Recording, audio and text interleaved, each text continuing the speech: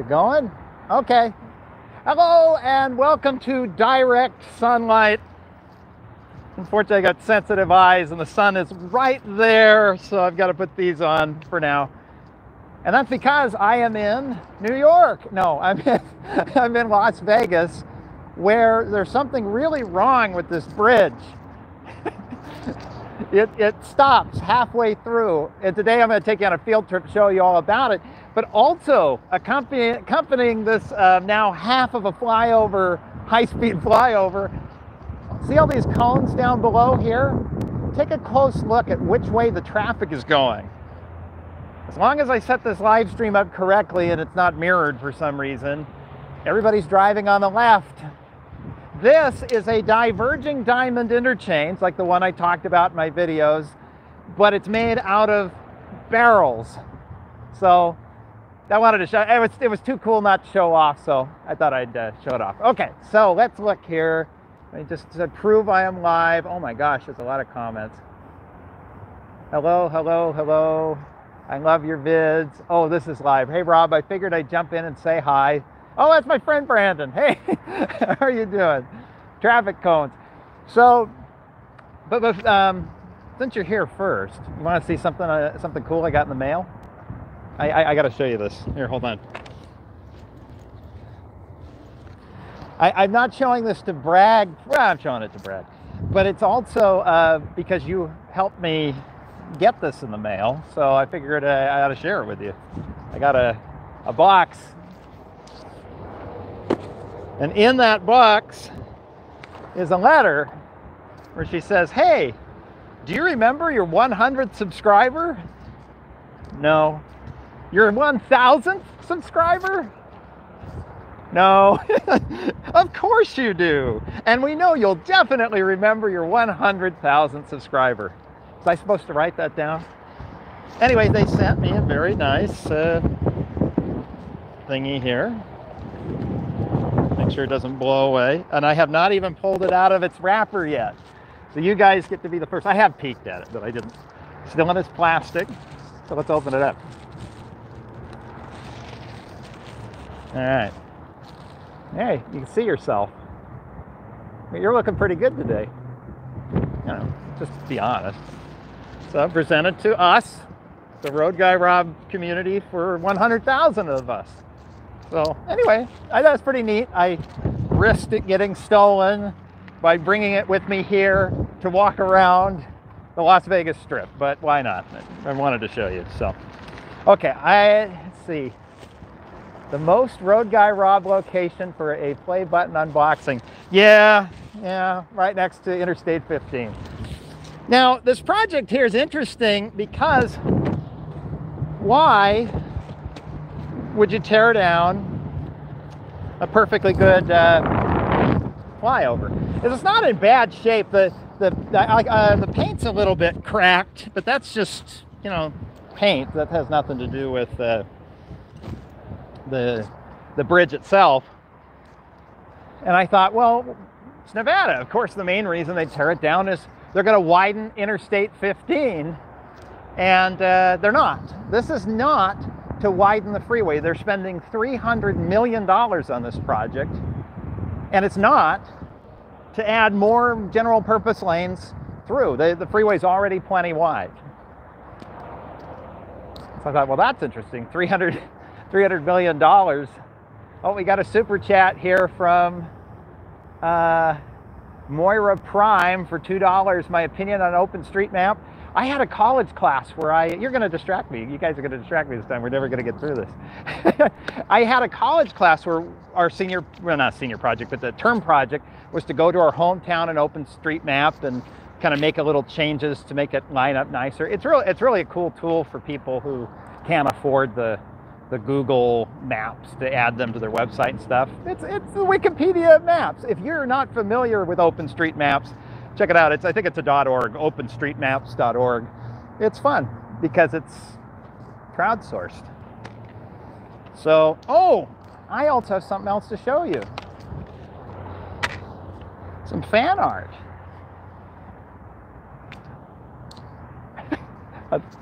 I even have the squint because it's uh, it's sunny.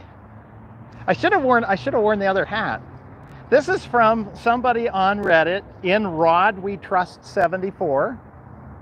And I asked, can I share this? Because this is really cool. It looks looks just like me. And uh, they said, sure, as long as I include the watermark. And the watermark says, uh, include the watermark, fart control with a K. So anyway, yes, we will take a closer look at those traffic cones. I just want to show you some of this from up here first. I'm going to flip the camera around and I will do a, a zoom in. Thank you, by the way, to this hotel here who is not sponsoring it or anything. They, I just asked, hey, can I be on your parking garage so we can actually see this thing? And they said, yeah, sure. So that was really cool then.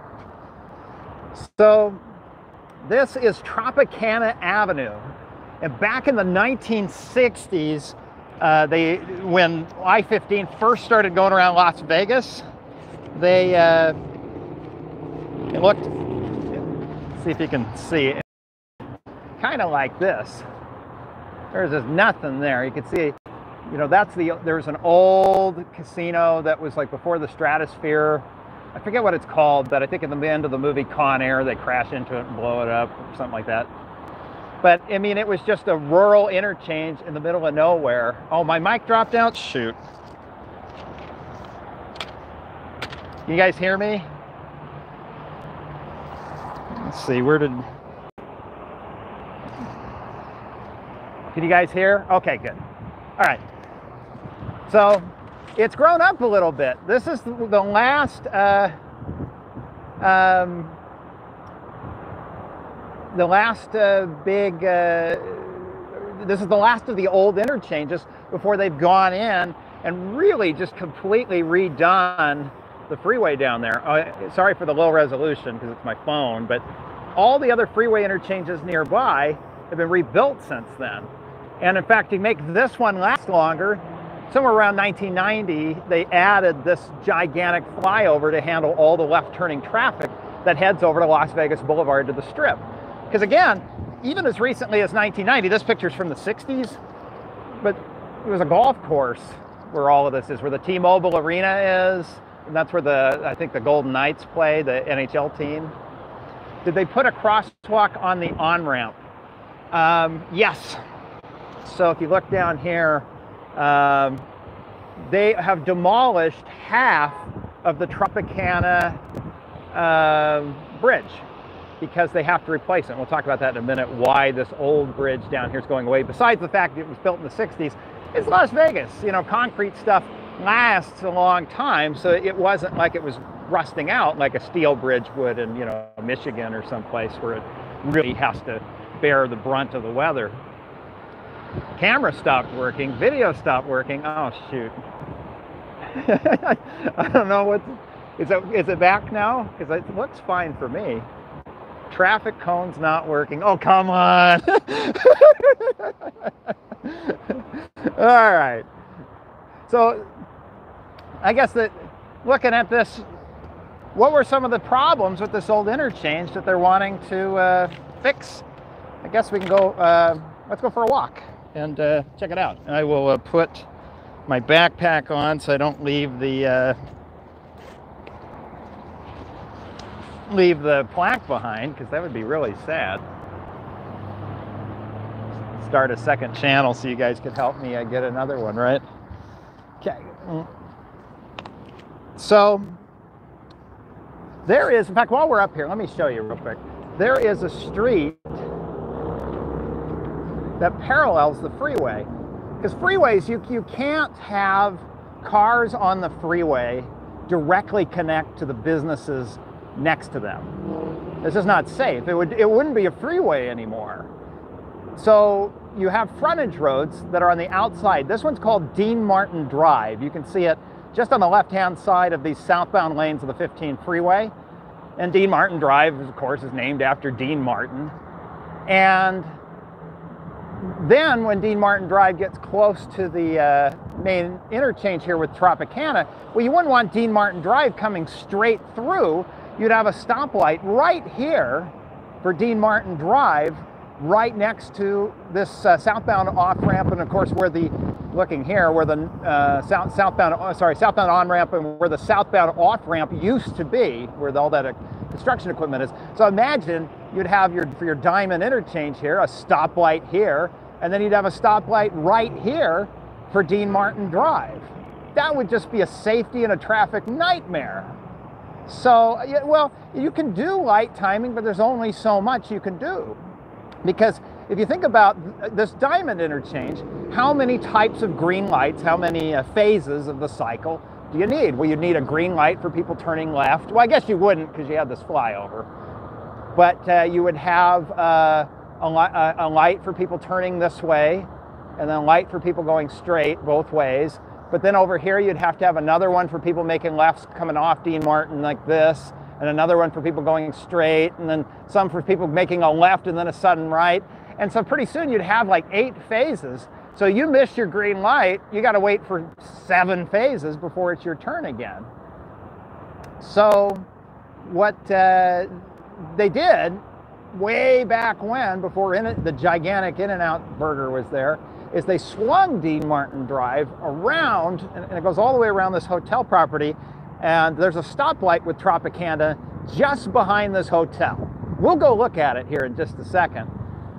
But even with it swung that far over from the interchange, the traffic really backs up in a bad way, especially back when this interchange was open.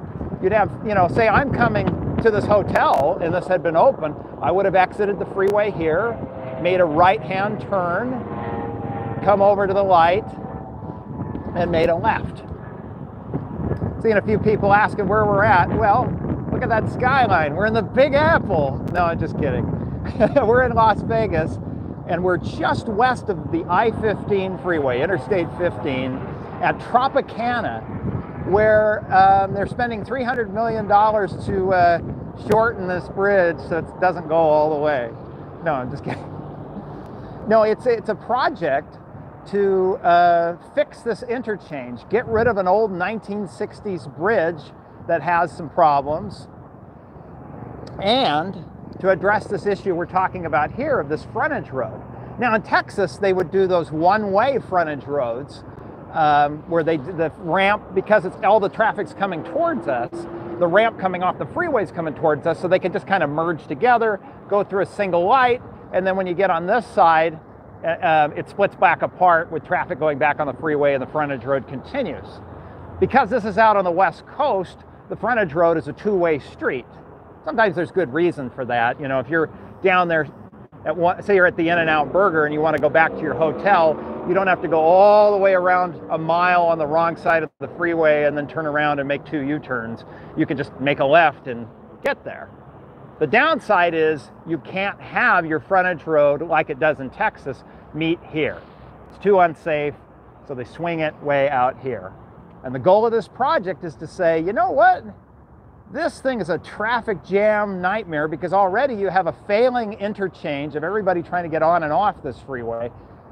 But even if they successfully get off the freeway, they come down to this other stoplight and they get all jammed up. So why don't we go take a look at that? I'll uh, flip the camera around, read a few of your chats. I gotta lower this thing, otherwise uh, you just see the top of my head. There we go. Woo how long has Blue Man Group been in Las Vegas? Never seen it. I just that sign I think's been up there since the 90s. Anyway. Okay. So I've got to walk. And the hard part about walking is it's not as fast as driving. But it's okay. Walking's a good thing. And I can't read any of your texts because the sun is hopefully I get to the stairwell here I can one thing we'll talk about when we get over the bridge is back when they started building the interstate highways, they had to try to figure out, rob the parking lot guy. oh, Spitze, Deutschland, Wie geht's? Okay. Um, back when they were building the interstate system, they had to balance the needs of, you know, affording to build, you know, thousands, tens of thousands of bridges all over the country um, with the height clearance is high, high enough that you know, the, the military in a war had to use the interstate system. They wanted bridges where they could get a 17 foot truck underneath the bridge. And uh, the uh, local state said, oh, we only want 14 feet because uh, you know, 17 is a lot of money. That's a very tall bridge. You have to have longer, you know, run ups of the dirt on both sides to, to get over. And uh, they settled on 16 feet. The only problem was there were already a lot of bridges that had been built with the 14 foot standard, so they were less than 16 feet. So I looked at this bridge because part of why they're replacing it is it's too short. And this bridge is 15 foot 10 inches. it is two inches underneath the standard. And I thought, well, that's not a big deal. Why, why would you replace a, a whole bridge for two inches? And I, I guess it isn't a huge deal because um, this bridge has survived all the way since 1966. Looked up when they built it, and it's 1966, so that's almost 60 years, 55 years, something like that. But they still have. Uh, oh no, sorry. It, it, it, they wanted the military wanted 17 feet. They settled on 16 feet. So you know, still tall enough to be too expensive for states to pay for, but uh, a foot too short for the military. So I need to catch up on the super chat people. You earned some In-N-Out from John Bo- Bon John Bo, Bo ah come back. Bon John Bovey, 220. That's the price of a fry. I'll get one after. I won't get one now because you know you guys don't want to wait. Okay, so this is this interchange here, or sorry, intersection, Dean Martin Drive. I'll flip your the camera around so you can see. Dean Martin Drive and um, Tropicana. So the interchange is just down here, and we'll walk down there in just a second so you can check that out. But but that's some of the challenge you run into is that you have this huge intersection with I don't know, um, six, you know, two through lanes in each direction, three through lanes in each direction on Tropicana. So that's two green phases you've got to deal with. Then you have the turning vehicles who are another phase. So you've got northbound, southbound turning, you know, so right now we got a phase of everybody going straight through. So that's one of them. We'll have the turning vehicles, which I think just happened, which is two. The same thing on Tropicana. So you have a long four phase signal and uh, that can get to the point where the amount of space you need, because this street goes all the way out to those mountains and there's houses all the way out there. So if you have people backed up waiting for their turn at this long four phase interchange, well, you end up with uh, cars backing clear into the interchange itself. So the thought is, well, what if we just got rid of this intersection entirely? What, what if we were able to uh, instead, oh shoot, turn this around here. What if, what if instead we could send it underneath this new bridge that we're building? So, so when NDOT replaces the Tropicana bridge, they can send Dean Martin straight underneath. And then these roads can, can act almost kind of like a clover leaf in a way. I, I've got the drawing, I'll pull it up here. But the, the thought is you have, uh, you think about a clover leaf, how you have kind of a curly ramp that sends you the one way, and on the other side of the bridge, the curly ramp that goes the other. Well, if Tropicana is now a bridge and it goes over, you can do that.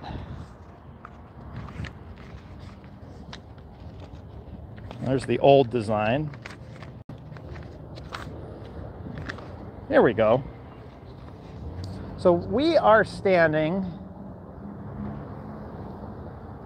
Okay. So we are standing here.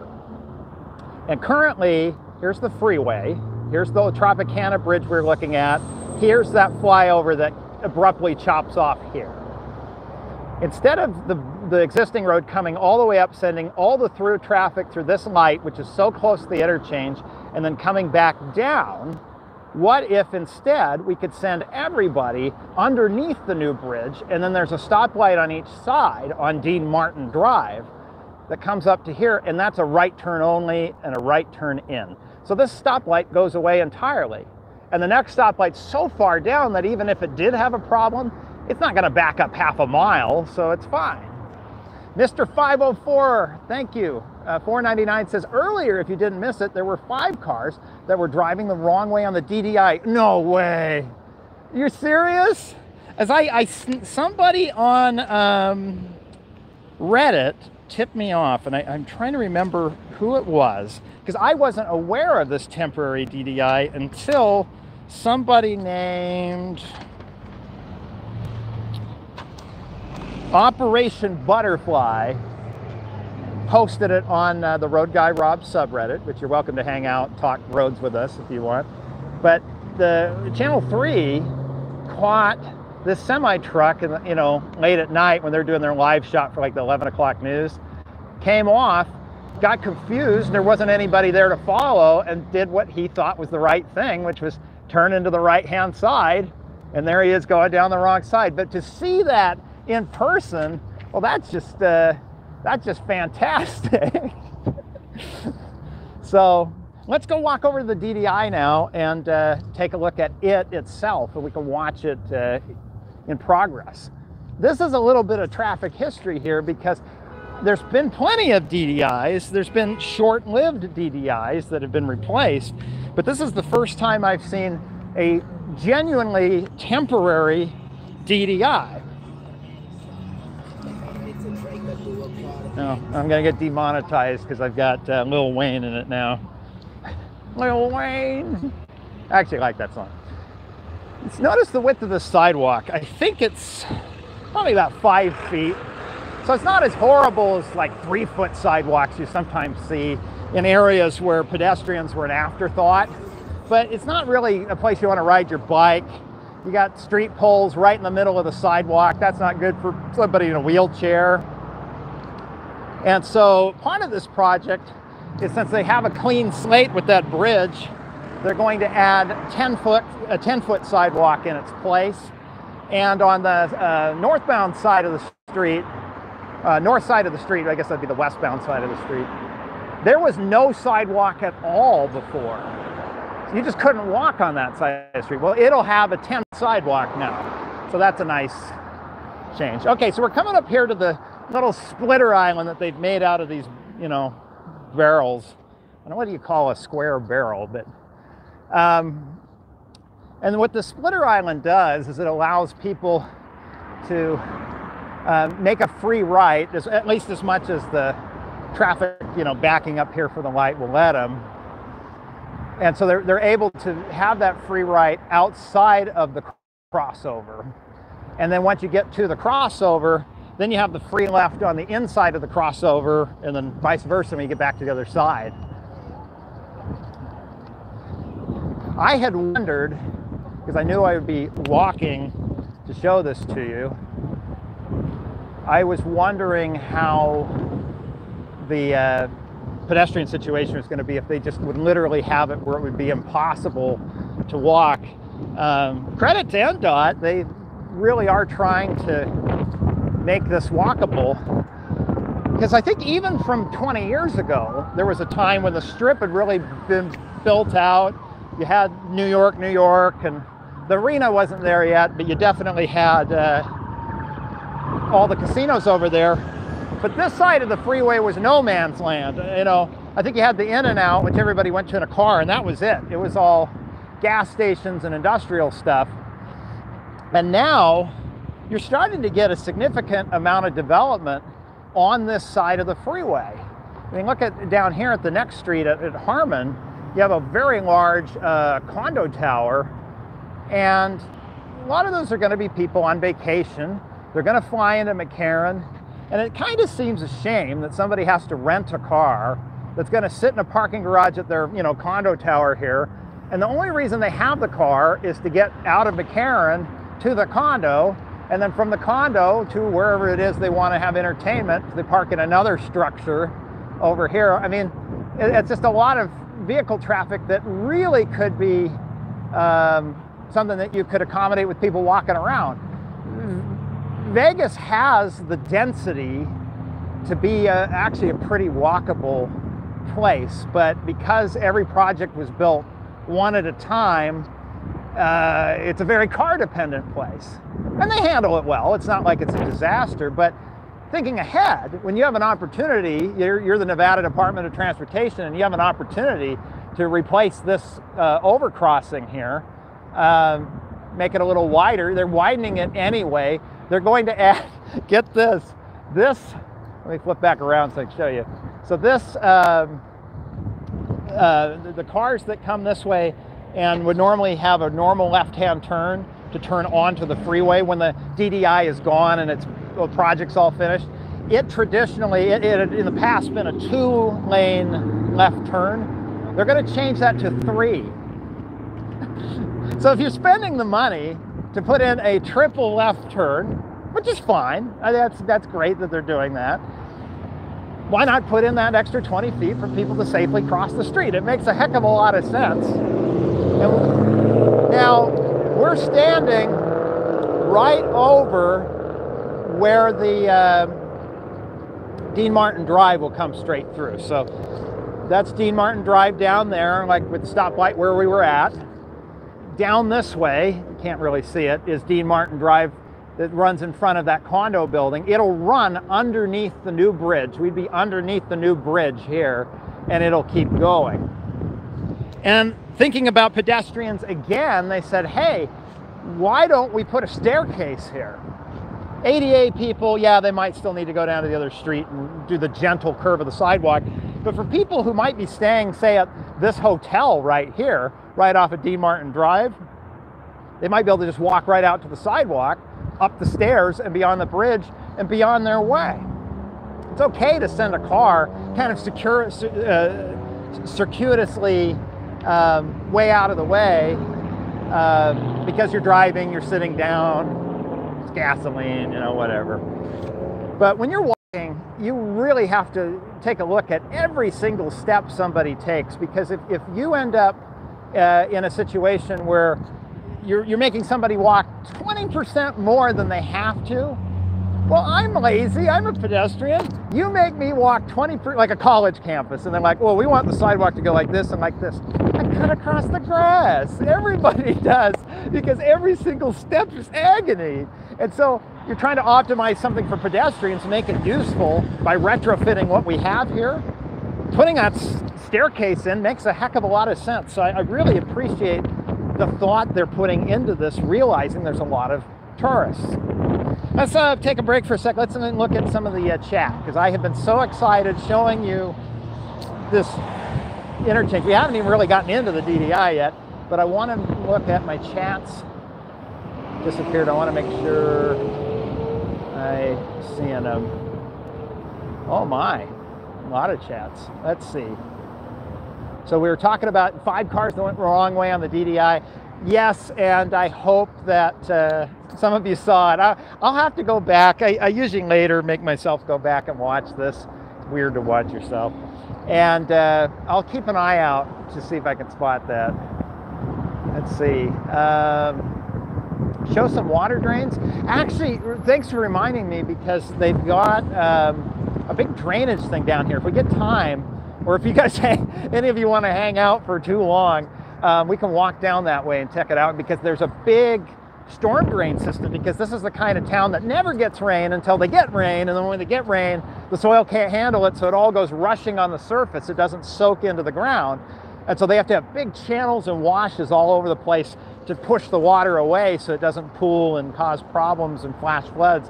And there's one of those big ones over there and it's right in the way of where Dean Martin Drive is going to come straight through. They get a jack cartilage uh, for $10 and has a little is that telling me I need to dance? but thank you very much. Let's see. Um, In-N-Out Burger, how dare you remind me that I'm on the East Coast? They're making their way out there. I saw an article today where they are opening a Nashville, um, Nashville? Yeah, I think it was a Nashville um, hub. And Lynsi Snyder, who's the, the CEO, said something really cryptic because they were asking about, uh, you know, I've got relatives in Northwest Arkansas, and asking, uh, well, is In-N-Out coming to Northwest Arkansas? We're kind of like the Austin, Texas of Arkansas, you know? And she said something like, well, we're, we're hubbed out of Dallas and we're, we're going to be operating stuff back and forth between Dallas and uh, Nashville, and there are states in between. So we're making no announcement at this time, but now some people in Arkansas are pretty excited. So it's making its way out there. What I want is um, I want uh, some um, the Whataburger. Been to Texas enough times. I, I want that. Let's see. I'm just scooching through here. $4.20 because it's Nevada from Senor Chunkza. He says, he sent you Canadian pesos. I'll get the drink tax. Well, thank you. Thank you very much, Senor, uh, Senor 420, and your Canadian, uh, the Canadian pesos and the drink tax. Water barricades. Okay, so that's the term for them. That's it on my list, I've got a hundred ideas that you guys have sent me that I've come up with that friends have mentioned. And part of doing this is this does not replace the videos at all. The videos are still happening at the same rate they've had. In fact, I'm trying to make them happen more often, which is making me very tired. And I have a list of like a hundred things I want to cover. And one of them is talking to these companies who make smash barriers and crash barriers and water barriers and all this stuff. Um, and it's perpetually been like 11th on the list and then something new pops up. What these live streams do is allow me in a very kind of low cost production way because it's just the time of doing the research and then getting out here to talk to you about it. It allows me to have a second product uh, to put out. I, I, don't know if it's going to happen monthly or whatever. A lot of it just depends on your own appetite. I want to look at this box. Let's show you something more interesting. Okay. But anyway, well, water barriers is one of them I'd love to do a video on. Um, scrolled all the way to the bottom. Let's see. Where did Senor Chunkza come? Okay, next is my mom sent me $20. Thank you. That's nice. You're never too old to, you know, have a mom. Okay, just an individual, 4.99. Thank you very much. I guess I'm supposed to do a dance. I need to think of something like road related because I, I don't dance. Austin Haney, or hi, H-E-Y-N-E, I apologize if I'm pronouncing it. Hot take In-N-Out isn't very good. Okay, I've had this argument with people over the years where they say, oh, In-N-Out is, is not that good. I've had a better burger at, at, uh, at you know, um, Red Robin. Okay, well, that's fine. Red Robin is a $12 hamburger. Of course, it's going to be a $12 hamburger. In-N-Out traditionally was like the $2 hamburger. With inflation, it's more like three bucks, and you get the double double, it's like 4.50. But I'm saying you go out and you shop amongst the burgers you can get for $4.50. It's the best of the cheap burgers, right? So it's in a different tier when you're comparing with Wendy's and stuff like that. In-N-Out's pretty darn fresh. I live in California, sorry. I'm, I'm not going to dog on In and Out. It's, it's pretty good. But if you want a gourmet experience, like you want a really fancy burger with like, you know, peppercorns and blue cheese and a brioche bun and all this stuff, In-N-Out's not your guy. And that's okay. All right. Um, sorry, Rob. It's just a few weeks ago. Crazy to see how far along the construction is here. Do you think it'll be done by the Super Bowl? Sorry, what's that, ma'am? Are you filming how dangerous this is? Yeah, it's going to get better. They're, when they're done, they'll have uh, 10 foot sidewalks on each side, but it's going to take a couple years. Um, do you think this will be done by the Super Bowl? Um, is Vegas host, hosting the Super Bowl? It won't be done. So, looking at their. So, I reached out to the Nevada Department of Transportation because that's what you guys pay me to do. And bless their hearts, Nevada Department of Transportation always is really good at responding right away with information to, to help me out. And I kind of hoped that they'd say, sure, in fact, we'd love to have one of our, you know, engineers or something, or, or even just community people come out and be part of the live stream. But they didn't. They just said, oh, here's a bunch of PDFs that you can pull off our website, which is fine. I really appreciate them being very responsive. They got back to me the next day. Um, and I know in the past they were wonderful too. Like when I uh, did that story on Inter- Interstate 11, I reached out to the project team. They got me in touch with the PR team up in Reno. I got to interview that uh, high level planner, I forget her name now, who really took me in depth, both on background and on camera, about the the process to expand Interstate 11 through. So I, I but they've got their timeline here. They've got all their little fact sheets here showing what's going to close in what order. That first they'll close the northbound side, and then phase two they'll close the south side of the bridge and replace it. So this is the, the pattern we're under right now, where you have this diverging diamond on the south half of what's left of the bridge. The flyover is closed, and the north half of the bridge is under construction. But they have the timeline here, and it's going to look. But I, I want to say, rats. I, I didn't of all the documents they sent me, I didn't print that one out. But I think it'll be finished in 2024. So depending on when Vegas is hosting the Super Bowl, if that's 2025, they might have it, but this will not be done by next February. It's just, they'll be halfway through it.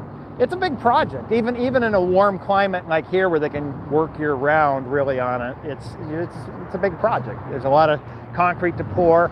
If they could if they could close the entire thing and just do a clean sweep, just demolish everything at once, build it all at once, they probably could do it faster. But they're trying to do open heart surgery because there's a lot of really bad traffic problems as it is, just with what we're dealing with now. And this segues nicely into the di- diverging diamond. I mean, the traffic just is, is all gummed up not just in the main lanes because there's there's lane restrictions underneath this bridge, but there's a, a collector distributor. It's kind of hard to see, but you have the main lanes, and then behind it you have the collector distributor lanes, and those all go off onto the Tropicana off ramp. And even with the added advantage of the uh, diverging diamond, allowing people to make that left um, you know, when it, right away without having to cross the oncoming traffic, they're still having some really bad performance issues. And it's going to be this way for a couple of years. And that's only with half the interchange open. Imagine if somehow they could have the diverging diamond working on both sides. So, okay, uh, more comments here. Are you in Vegas for the temporary DDI only, or is there another reason? The other reason is right here. I love showing this off. Look at that. we still haven't talked about this yet. Why they only tore down half the bridge. Why did they have to tear down the bridge at all? We'll get into that in a minute. Let's see what else we have here. I just want to make sure that uh, I'm catching up with the chat here. Sorry, I wish I could read every comment, but when I tried to do that on the uh, uh, last time, I got 20 minutes behind, and people were accusing me of pre-taping the live stream. Um, let's see. You're at Dropicana too. Yeah, it has the nickname Dropicana, and I think it's because they're dropping the bridge. I, I, didn't quite follow, but it's a Vegas thing. Sort of like how in Las Vegas, every interchange is called a bowl, even if it doesn't look like one. So down that way to the north is the Spaghetti Bowl. And it makes sense because if you go to Google Maps, you can even type in Spaghetti Bowl Las Vegas right now in another window if you're on a PC and put in Spaghetti Bowl Las Vegas, the way the ramps are arranged, it looks like a bowl of spaghetti. So because they did that, the Henderson interchange that does not look like a spaghetti, it's kind of like a modified stack interchange, they call the Henderson Bowl. And then another modified stack interchange up this way uh, toward North Las Vegas in the northwest part of the city where 95 meets the 215 freeway. They're calling that the Centennial Bowl but it doesn't look like a bowl. it's just it's just a Vegas thing. And so I guess NDOT and Nevadans being the way they are, they gave it a cute nickname and they call this Dropicana. So because they're dropping Tropicana. CJ Brick, 499, thank you. Yo Rob, if I wanted to study road and highway engineering, where do you want where should I start? Okay, there's like three parts to roads. There's sort of the um, the context of how the road interacts with the city itself. That's urban planning. But urban planning gets into a lot of the why, the, the zoning, the land use. Transportation and land use are chicken and egg, right? You, you end up with land uses that are reinforced by the transportation system you build, and you build a transportation system that responds to the land use you have. And if you really find that interesting, you might even skip engineering entirely and go become an urban planner. Now realize if you go into urban planning, it's a little harder to get a job, but when you do get it, you have to get a master's degree typically, the people I've seen.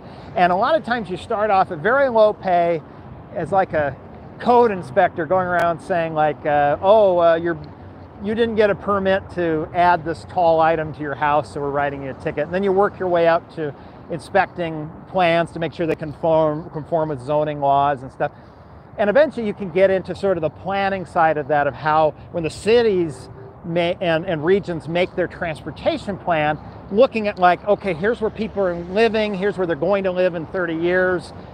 What's kind of plan as the money, tax money comes in, what that 30 year regional transportation plan is going to look like, what the city's general plan is going to look like. That's the planning side. Then kind of in the middle is sort of the, the soft engineering. It's, it's getting the design engineering. It's getting in saying, okay, I'm building a Costco and I can't just, as Costco, let's pretend I'm Costco, and I'm building a store. I can't just dump all the cars that are arriving, buying things and leaving onto the existing city streets scot-free. I'm going to impose a cost on the city because you're going to have thousands of people driving in and out of this Costco. So you need to do some planning to figure out, well, how much should Costco pay the city? Or what improvements should Costco install, like stoplights or road widenings or roundabouts? You go up to Redding, California right now, they're putting in a new Costco, and Costco paid to put in a really nice roundabout on their dime because of all the traffic they're going to create. So that that's you get that you'd go get a civil engineering degree with a focus kind of on the traffic and planning operations, getting in and like optimizing stoplights um, safety. You could get into to dealing with uh, looking at crash rates and trying to figure out what roads the state should prioritize spending money on. And typically you'd end up for working for a state or for a private consulting firm. And then there's the, the design engineering, the hard engineering, where you actually, not hard because it's difficult per se, but hard because you're actually dealing with concrete. Getting out there and being a field engineer and making, inspecting the work to make sure it's being built properly, um, getting in with the CAD software and actually designing the road. And so it, it's kind of neat because you have a broad spectrum there. So a lot of it depends which way you lean. If you lean more toward kind of the soft side, you may have a lot less hands-on aspect because you're just making a plan if you're an urban planner, but ultimately you don't get to make decisions. That's for city councils and developers to decide, uh, politicians but you help guide them to make good long-term decisions. And maybe putting in a good plan in 30 years, you get to see some neat things materialize. On the hard side, you may get to design a handicap ramp for a sidewalk today that's going to be built in six months. And so you get to see it right away.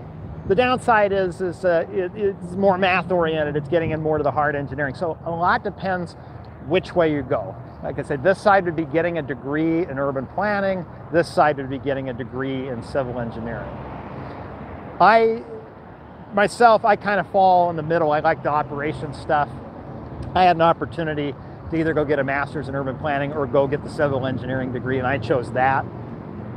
It is a lot easier to get a job. Civil engineering can be a tough profession. There's a lot of unpaid overtime and uh, billable hours and things. It can almost feel like from people I've colleagues I've talked to, uh, it can almost be like working at a law firm kind of.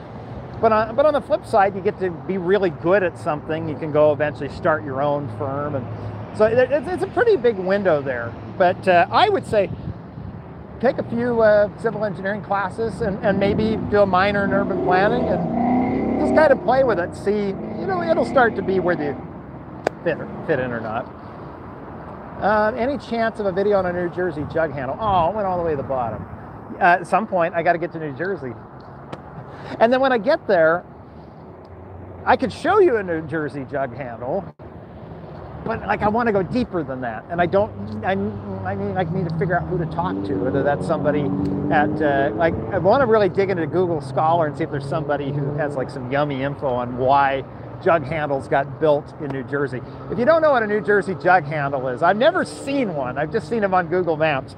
Instead of making, instead of just putting in a left-hand turn lane, so you pull up, you, you're, you're driving down the street and you pull in the left-hand turn lane and you wait for your arrow or whatever, and then you make your left turn and you go.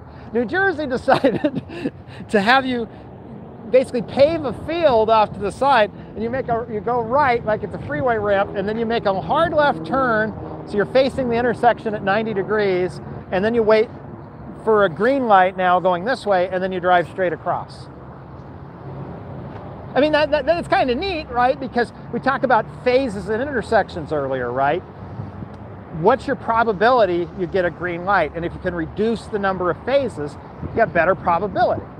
So if you have a street that's going this way that has a green, and a street that's going this way that has a green, and the people making left-hand turns don't get an arrow, either because they turn left, uh, they yield uh, to traffic, or they have a jug handle where they go around like this, well then you have two phases, this way and this way, right? So that's 50% odds that you get a green light. That's, that's pretty good. But if you have the left turn arrows like they do in California and in Texas and all, in all over the place, well now you have like a, technically a 25% chance, right? It's not quite that because the lengths of the phases are not the same, but, and so because you, you have one,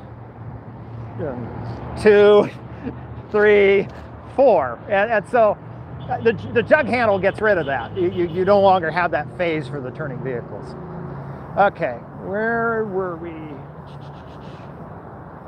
Man, I'm falling way behind because you guys have so many good comments. Not your fault. It's just I, I get chatty. Where did I just leave off with CJ Brick? Okay. Do do do. I have to skip like a hundred comments. I am so sorry. No, I've showed you plenty of traffic cones. Okay, Las Vegas is Super Bowl in 24. Yeah, it will not be done in time for the Super Bowl. $10 from Aaron of Minneapolis, who says, big thanks. Also kind of surprised they're doing triple left turn lanes rather than a permanent DDI. So in the, um, any big project like this, if you really want to geek out, if they're building a big road project, especially if it involves, exclusively if it involves federal money, which is most big projects that get some federal aid. This is like half federal money, half Nevada state gas tax. They, the, the National Environmental Policy Act that Richard Nixon signed in the 70s requires that they have to go through and document all the ways the project can impact the environment, the human environment, the ecological environment, all the environments. And but the good thing about it is you get a good project because they go through and write down every possible way that this could, and, and what we can do to mitigate it. But the neat thing too is you can go in and see all the designs, all the different ideas that they took to final consideration and why they ruled out what they did. Look at, looking at cost effectiveness and three of the ideas. One was a permanent DDI by and eliminating the flyover.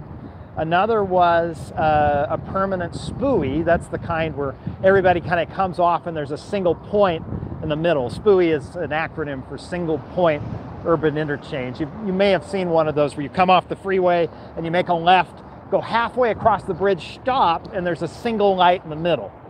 And that goes back to phases again, right? Because instead of having three phases on this side of the freeway, or two phases on this side of the freeway and two phases on this side, two or three phases on this side, you end up with just three phases at one point. And so you can move, the probability people are getting a green and keep moving is excellent. But I think they were working on those ideas on the thought that this flyover bridge, they were going to have to tear it down and it would just be too expensive to replace it. And the design they ended up coming up with is saying, we actually, we can continue to do a diamond interchange like we have all along, because we can keep half of the old bridge and just rebuild the half that we need to rebuild. And that's a good segue to talking why only half the bridge? Well, why did they tear down any of it? Well, the columns of where this thing would land all sort of came out right on top of where that frontage road is going to come straight through here. And so that is why it got demolished to this point, because that's as far as it could come before it was uh, blocking the frontage road. So the new bridge will straighten, instead of the arc continuing, it'll straighten out for a little bit and then, and then arc over. They'll, change the angle of the arc in such a way that it um, lands out. Uh, I think it'll go over the frontage road and then kind of back over onto the, you know, so the freeway traffic coming off kind of scooches over the frontage road and then onto the flyover. But by keeping that, and just having a massive type diamond, I think they found that was what performed the best and kind of gave them the best bang for their buck. If they had had to, and and the public meeting I was watching, the NDOT representative was she was saying that uh, that was thanks to the contractor. So rather than Nevada DOT um, totally just coming up with a design themselves, they, they got talking to people in industry and saying, well, what are some things we could do if you guys are going to bid on this? And I guess they came back and said, hey, you can keep half of this flyover, and that saves you a lot of money because you don't have to rebuild that part.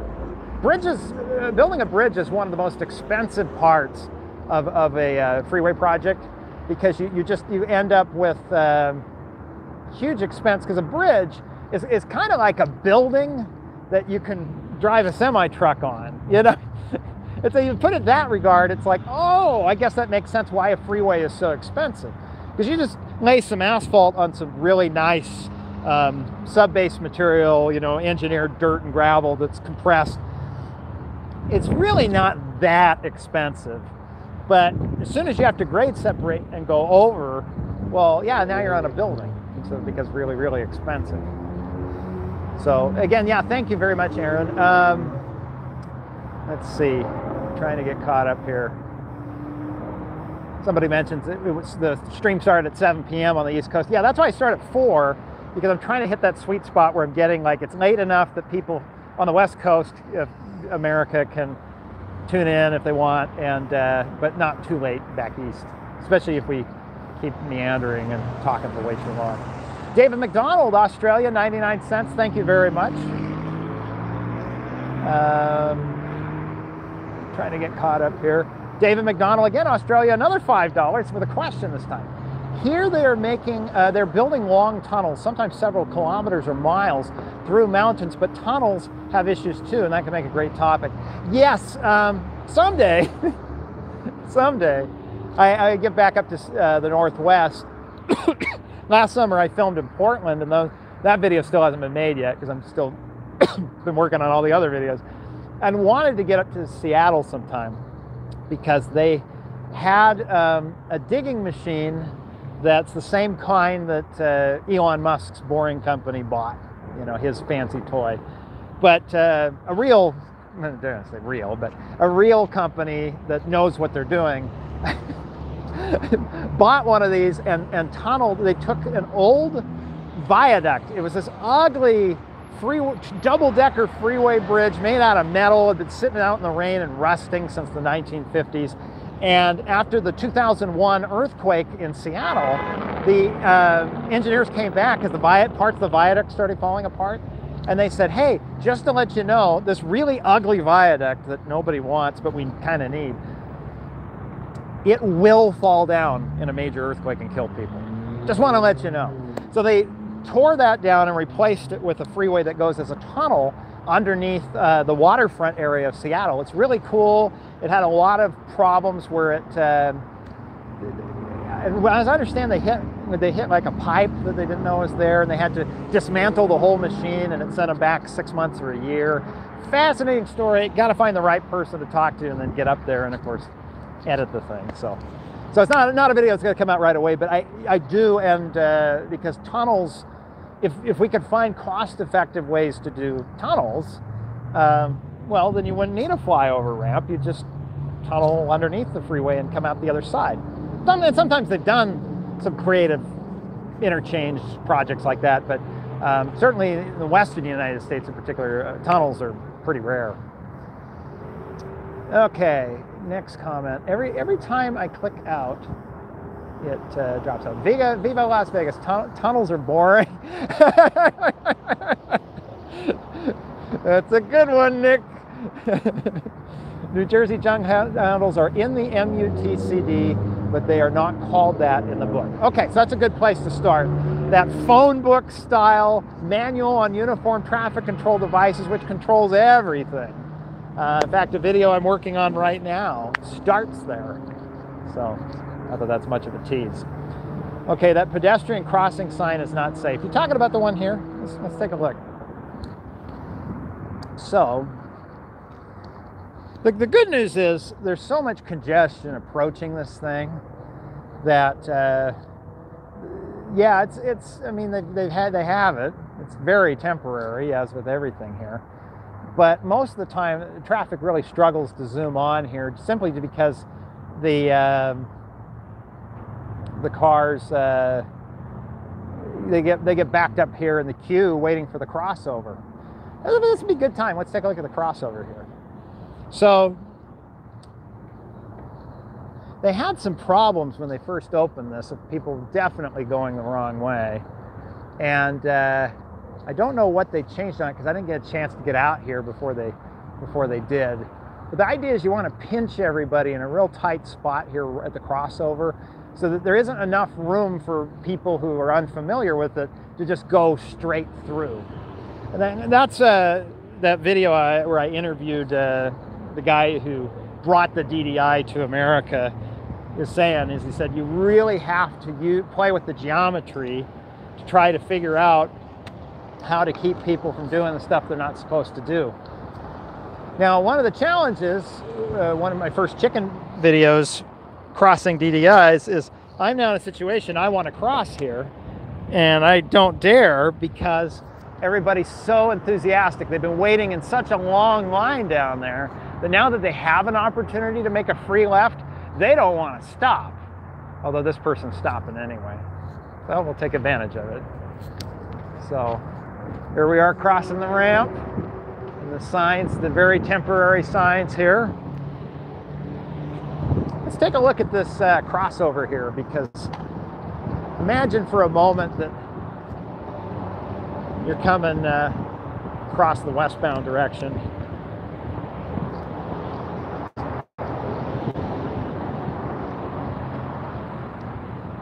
looking into the sun, so hopefully you can see.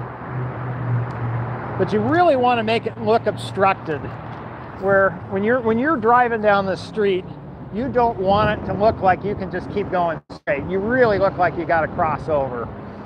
Otherwise, eh, you know, and so that's the idea of those uh, water barrels there is really pushing the traffic that's coming towards us um, over. So they, they just don't feel they can, like it would be really wrong it's not a rounded corner there, it's a really tight one. So that that way they kind of feel they have to, to come over to the other side. And, and it seems to work. Oh, they stopped because they got a red light. Okay. They don't have a DDI because technically you're on a one-way street and the ramp is a one-way street.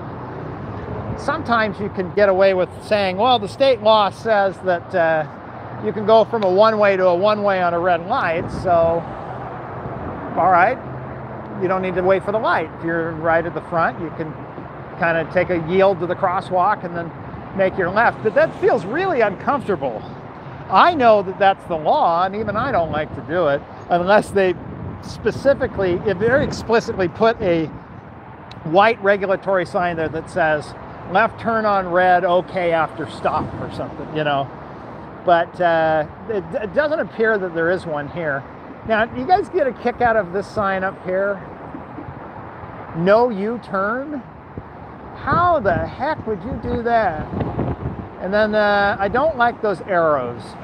It says right turn only, but what they mean is gradually drift back over, um, you know, when you get through the crossover. It's not really a right turn and so I don't know. I, I, I don't love it. But I did get a kick out of no U-turn. I don't know how on earth somebody would do do a U-turn at this intersection. All right. Let's see. Private ambulances don't get the privilege. Oh, you guys talk about uh, EMS stuff. Donald, Donald Donald Dodson with ten dollars. Thank you very much, Donald.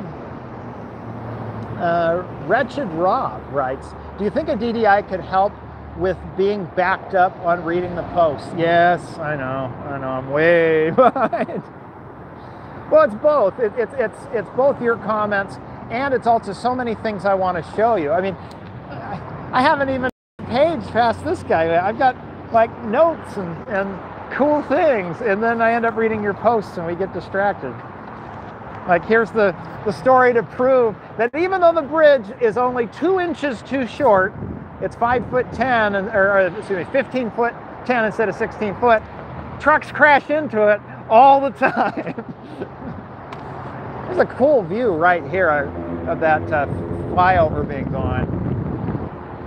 A lot of bridges in Nevada and California are box girder bridges. They're ones made out of concrete. They build like a, a, a square shaped box and then you drive on top of. But this one's actually a steel bridge. Let's see, you know, in other places that use steel. And it's kind of interesting that you got the girders there, and then you have the the corrugated uh, metal on top of that, and then they pour the bridge deck on top of that. And I'm just thinking, you know, when you're coming in and you're a demolition guy, you know, demolition, you just get in and wreck it. And they, they did a re really good job, you know, all those rivets and everything, disconnecting the old bridge in a pretty clean way where other than a little bit of bent stuff, you know, it's, it's, I think it's actually looking pretty good where they can tie in uh, the new bridge to that. All right, let's getting caught up here. Do do do. Nice girders. Oh yeah, let's talk about that. The County 215 sign makes the number way too small to read. I know. I let's talk about this for a minute. All right. So you'll see here, here's the sign for the freeways. I'm going to stress everybody out because they're going to think I'm uh, trying to. But look at these. You have the standard interstate shields and letting people know what freeway that that ramp heads to. But there are these county shield signs, and it's not often that you see a county highway signed like that on a freeway. But the way uh, Clark County, the county that hosts the, you know, Las Vegas and its suburbs, built the 215 Beltway, half of it is an actual interstate highway, and the other half is a county highway, not even a state highway, a county highway that the county maintains. And so it has a county 215 shield. And I would uh, tend to agree with you. If you're zooping up to that sign really fast, um, it is a little hard to read those numbers. And I wish I better understood the politics. I, I, I, never lived in Nevada, so I don't understand the politics of how a major beltway was a county highway. But that is, in the wild, kind of a, a, a rare experience of, of, something that you don't uh, typically get to see, and uh, but it's routine here. Well, let's walk over here. I'm going to show you uh, the uh, what's going on with this uh, distributor. So just as we were talking about, frontage roads have to exist outside of a freeway um, to connect to driveways because you can't have a driveway on a freeway. That wouldn't be safe. There's a class of roads kind of between a frontage road and the freeway itself called a collector distributor road. The, uh, normally, when you come on the freeway, you need some space to merge in. And when you go to exit the freeway, you need some space to safely exit. And when the freeway on ramp and off ramps get too close together, you end up with this weird thing called a weave where cars are coming on and cars are going off. And, you, and it creates a lot of traffic and safety problems. So the, the right answer is to just, well, don't put your interchanges, your on and off ramps so close together. Give them a good mile and a half apart. But that's not the case here. You, you, you, you just see you have a lot of activity here. You have to be able to uh, um, accommodate all, all these tourists are coming out here to the Las Vegas Strip. Um, the, the next exit down this way is only 5,000 feet. And so that's really not enough space. It's not even a mile. So to help make the cars flow better, you can build a freeway next to the freeway that's not a frontage road and you still wouldn't connect driveways to it. It still has high speed ramps on it, but it has a wall separating it from the main lanes of the freeway so that that way the main lanes of the freeway can be focused on going through and this collector distributor road off to the side can deal with slower traffic at maybe 45 or 50 miles an hour weaving as people come on and merge off. And amazingly, with this old 1960s bridge, I don't know how they did it, but decades ago, Nevada DOT somehow figured out, it's closed right now, but they figured out how to put this collector road here in underneath the same bridge. And I think what they did was it used to be where you've seen the bridge where you have the, the, the bridge is to the outside of the freeway, and then there's a column here that holds the bridge, and then there's like a sloped piece of uh, concrete at a 45 degree angle or whatever, 30 degree angle to kind of hold the soil back, and then the bridge rests on an abutment up here. Well, the, uh, they, they built a retaining wall and used that area that was for that uh, you know 30 degree slope of soil or whatever and squeezed one lane through here.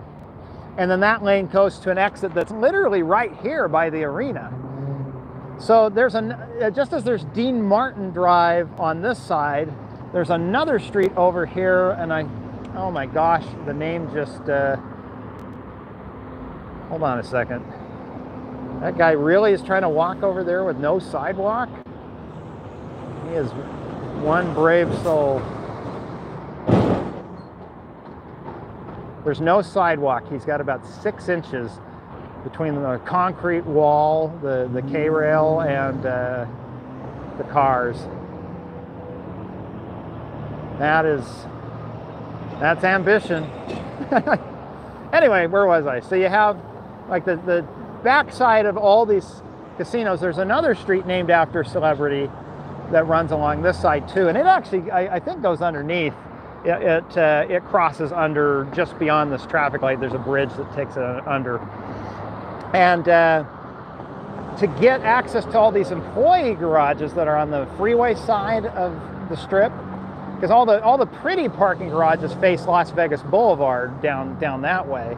Um, so they put all the the staff, the thousands of people who work these casinos, they park them here and to help them get to work. Because if you, if you think about it, I, I had a, a, consultant once come and, and talk to me when I was in grad school about a project they were doing for the resort.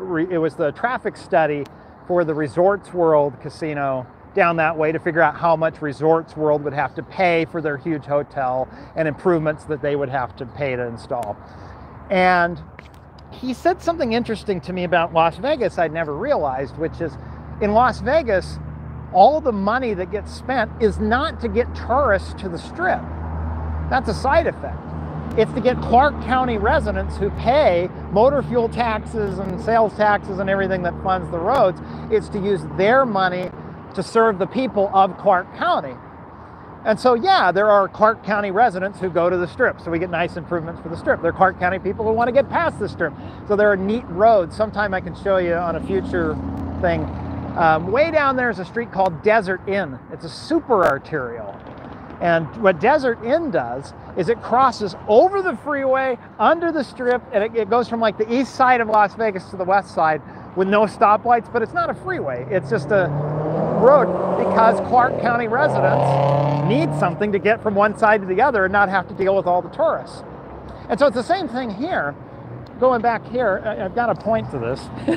I'm not just rambling this collector distributor road takes you underneath the bridge and dumps you out on um, this other street over here that's named after the celebrity who I forgot. So that employees who are Clark County residents, their tax money is helping them get to work. So anyway, I thought that was pretty interesting. So part of the new bridge is widening this collector distributor so that it actually um, has two lanes instead of just the one so that they can get more cars to that traffic signal and get them through on the left. Because if this thing, say if too many people go to work in the morning by car and the red light for that backs all the way up down this single lane, it can start blocking the people coming off the uh, distributor over there. So if you have the two lanes, that performs better.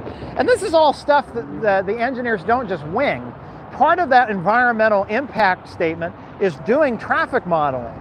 So what they what and that's a whole fascinating thing in itself that you could if you're interested in becoming an engineer, you could become a modeler. Modelers what they do, it's kind of like Sim City except a little more boring. And what you do is you take this existing freeway interchange and you go in the computer and you say how many lanes there are and you position where all the ramps are and everything to scale and then you come out and you count loud motorcycles.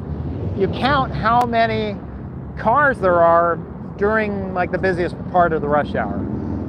And you put that in the computer and you run it to see if the uh, your model matches what really happens in the real world. And if it does, then you have something amazing because now you can come in and without spending a dime on concrete, making mistakes, you can get in with your model and actually start to see, okay, well, what if I made this thing two lanes? What if I made this, uh, took this flyover away? What if I put in a DDI? What if I, and come up and, and, just keep playing with it until you come up with something that is as simple as possible, cost effective as possible, but you go, wow, this really moves the cars.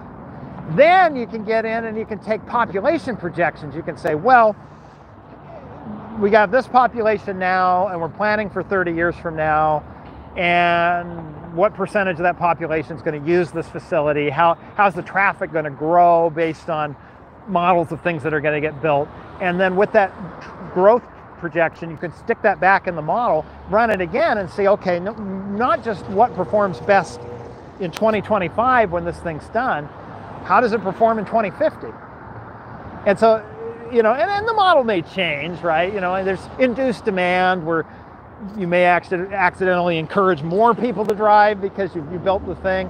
Um, so that, nothing's perfect, but it does put a little bit of science to the engineering before you waste money on the concrete and go, oh, well, that was a mistake. We shouldn't have built that. Oh, well, $100 million later, uh, you know. So uh, that's a fun aspect you can get into modeling. You know, it's, it's really neat. No one plays SimCity anymore. They play City Skyline. I know. I, I. That's probably. There's like three questions uh, a fan like you is most likely to ask me that I, I hear all the time. One of them is, uh, you do a, a, video on Michigan lefts or New Jersey jug handles? And the answer is yes, I know, because everybody wants. Um, one of them is, uh, do you play City Skylines? And I'm going to give you the straight answer. I tried. The way I play SimCity is just not compatible with city skylines. I don't want to build uh, high rises and stuff. That's not fun. I'm getting into it for the traffic. So I added network addition mod, which really like makes a mess of your traffic network and just makes it very car dependent and nasty. And I modded SimCity 4 so that the uh, region was basically the size of the Bay Area with a bunch of inland stuff. And then I started back in the George W. Bush administration, like back then with my modded version, like 2007 or 2008. And worked on it for like 12, 13, 14 years of sprawling it out to only like 15 million people, but it was all through suburban sprawl. Like I, I had to build another arterial mile block. I'd put in a bunch of twisty neighborhood streets, zone each little house. It was my time waster, you know, and I, so that's why I never got into gaming.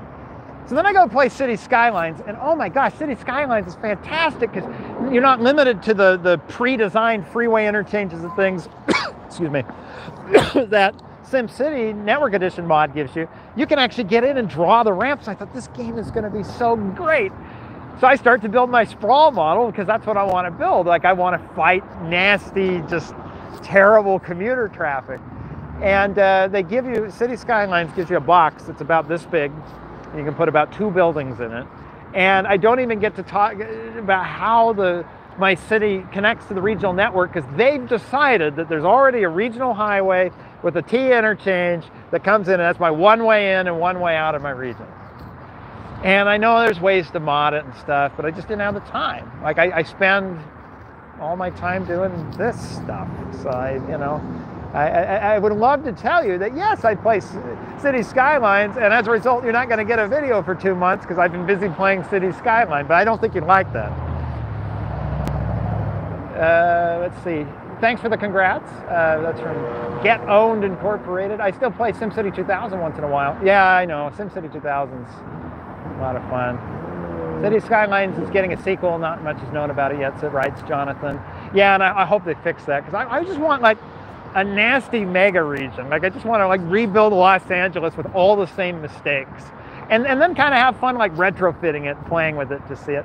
Yeah, I know I'm in it for the traffic. That's fun. Okay, let's get more caught up with some of the newer comments.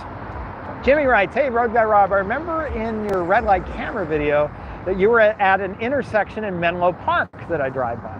Yes, yeah, and the reason I did that, I happen to be passing by the Bay Area and I never miss up an opportunity. I keep a camera in my car, so don't break into my car because I never I keep I keep an outfit in my car because I never know if I'm going to be passing by someplace and want to tape something while I'm there because I'm trying to keep costs down. It, you know, gas isn't cheap, and but this is the type of content you kind of have to go to the place to show it. You know, and when I was talking with uh, the expert uh, I interviewed on that story, Jay Beeber, he, he was the one who was giving me some case studies of like, here's some news stories you ought to look into, and one of them was Menlo Park. So I was passing the Bay Area, I went to Menlo Park and to uh, the, um, I forget, it's the town, Milpitas? No, it's the town where the two freeways connect on a road that should be a freeway, but right in the middle of it, there's a stoplight. And everybody was running the yellow light there because it was too short. So I, I hit both of those on the same afternoon. Um, but uh, yeah, it's it's a beautiful area. Anybody who can afford, yeah, Fremont, thank you. Anybody who can uh, afford to live in the Bay Area, I, I, don't blame them. I mean, it's it's like they took LA, added trees and hills, um, got rid of all the broken-looking stuff, although some of it's coming back. The downside is they didn't build enough places to live because somebody decided that when Moses came down with the 11 commandments, the 11th commandment says, And thou shalt only zone single family houses, and whatever houses got built in 1974 shall stay there forever, thus saith the Lord, you know, or whatever. So as a result, you have all these neighborhoods, they're beautiful because the houses were built in 1974 and you can't build any more houses, so the houses are a hot supply. They're, they're Tickle Me Elmo, they're rare Pokemon cards, they're, and so people pay millions of dollars for a building that really the building is only worth 200 grand, 300 grand, but there's three parts to a house, right? There's the land, well, that's valuable because it's limited. There's the house, well, that just sits out in the rain and rots. And then there's the third thing nobody ever talks about government permission to have a house on that piece of land. And that's limited. And so the Bay Area is all messed up. All of America is kind of messed up now because that government permission to have a new house is limited. If you don't have empty vacant fields that you can build new houses in, and you have no way to increase supply because the government permission says thou shalt have only one house per lot, well, then well, that's what you get on, on affordable houses. Um, let's see those drivers stuck in traffic on I-15 when they suddenly see this person on a bridge with a tripod blabbering about random things. yeah, no, it's it's uh, it's exciting. I, I could be uh, you know down there just hanging out, listening to music, but. Uh, that, that's what's interesting about this project is there's a there's a tendency to say, oh, well, all these people are stuck in traffic, so we must make the freeway wider so that we can accommodate all these people. But that's that might be the right answer, but it also might be a really bad answer because what may be causing the traffic isn't here. That's already plenty wide. It's something way down there that's constricting supply and so, or constricting volume. And so if you just widen the freeway on this side of the constriction, you just end up throwing more traffic at whatever's clogging you up down lower. And so, you know, sometimes the right answer isn't to widen a road. Sometimes it might be to widen a different road or, or connect two roads together that should be connected and aren't. You know, it might be to figure out whether some of it could be accommodated by some sort of a transit project or whether future land use can. And so I, I do appreciate that it used to be engineers kind of did their thing and planners did their thing and, and they just learned to kind of hate each other. And um, that really changed, I think, in the 90s. And, and you really see, if you go to uh, Transportation Research Board, which is a Comic Con in Washington, D.C. every January for anybody in the transportation industry. I'd love to go again. I got to go in grad school once as a student. plan, planners go to that thing. Like it's not just uh, engineers. And so I, I, I do think we're starting to get better projects for everybody, including drivers, because planners and engineers are talking to each other. You know, they can sit down and say, oh, maybe if we spent $100 million uh, on this transit project, it would save us $200 million on this road project. And that's not a bad thing. It's not to say we don't do the road project in the future, but maybe we put it off 10 or 20 years because it buys us some time, you know. Let's see. Jimmy, he answered your question. Oh, good. I don't remember. I would venture to guess that 50% of your viewers live within 30 miles of I-15. Well, yeah, because it's funny you mention that because I noticed when I did the video Phoenix without freeways, I ended up with a whole bunch of YouTube stats that said, oh yeah, like your number two state is uh, Arizona. And so I would love, and I'm trying to get in this direction, it, it's, I'm saving, uh, believe it or not, as, as little as I make off of Patreon, I'm trying to save it so that I can have money to go video like a circuit, like, like take three weeks and go hit like 10 stories and hit places that deserve to be in videos, but I never get there. You know, Minnesota and Indiana and Oklahoma, and you know, so I can come back because I really think transportation is not just a Western U.S. thing.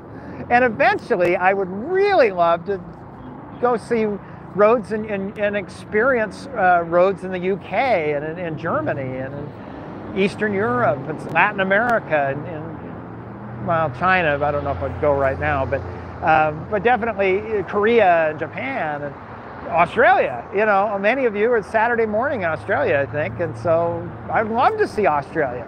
Australia uses the, the, the MUTCD of America, basically. I would be a hoot to see see that in person and not just on Google Street View, but not because I just want to go see it and have a trip. It would be to share it with you.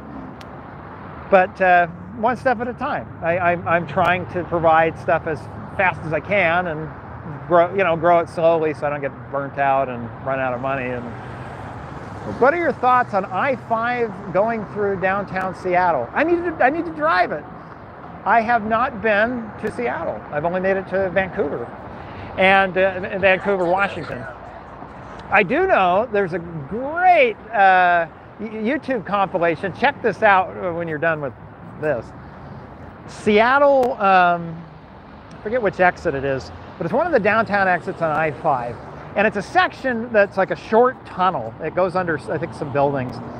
And the sign warns you, ramp 15 miles an hour, but doofuses, you know, like me, in the rain, come zipping along full speed at 50 miles an hour and think I, you know, I'm in a Honda, I can take this ramp.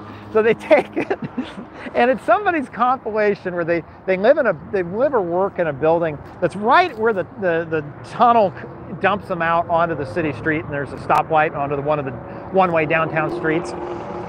And it's everybody, it's just one car after another, skidding and sliding along the wall, just hear, just, you know, bang, and you can't see it.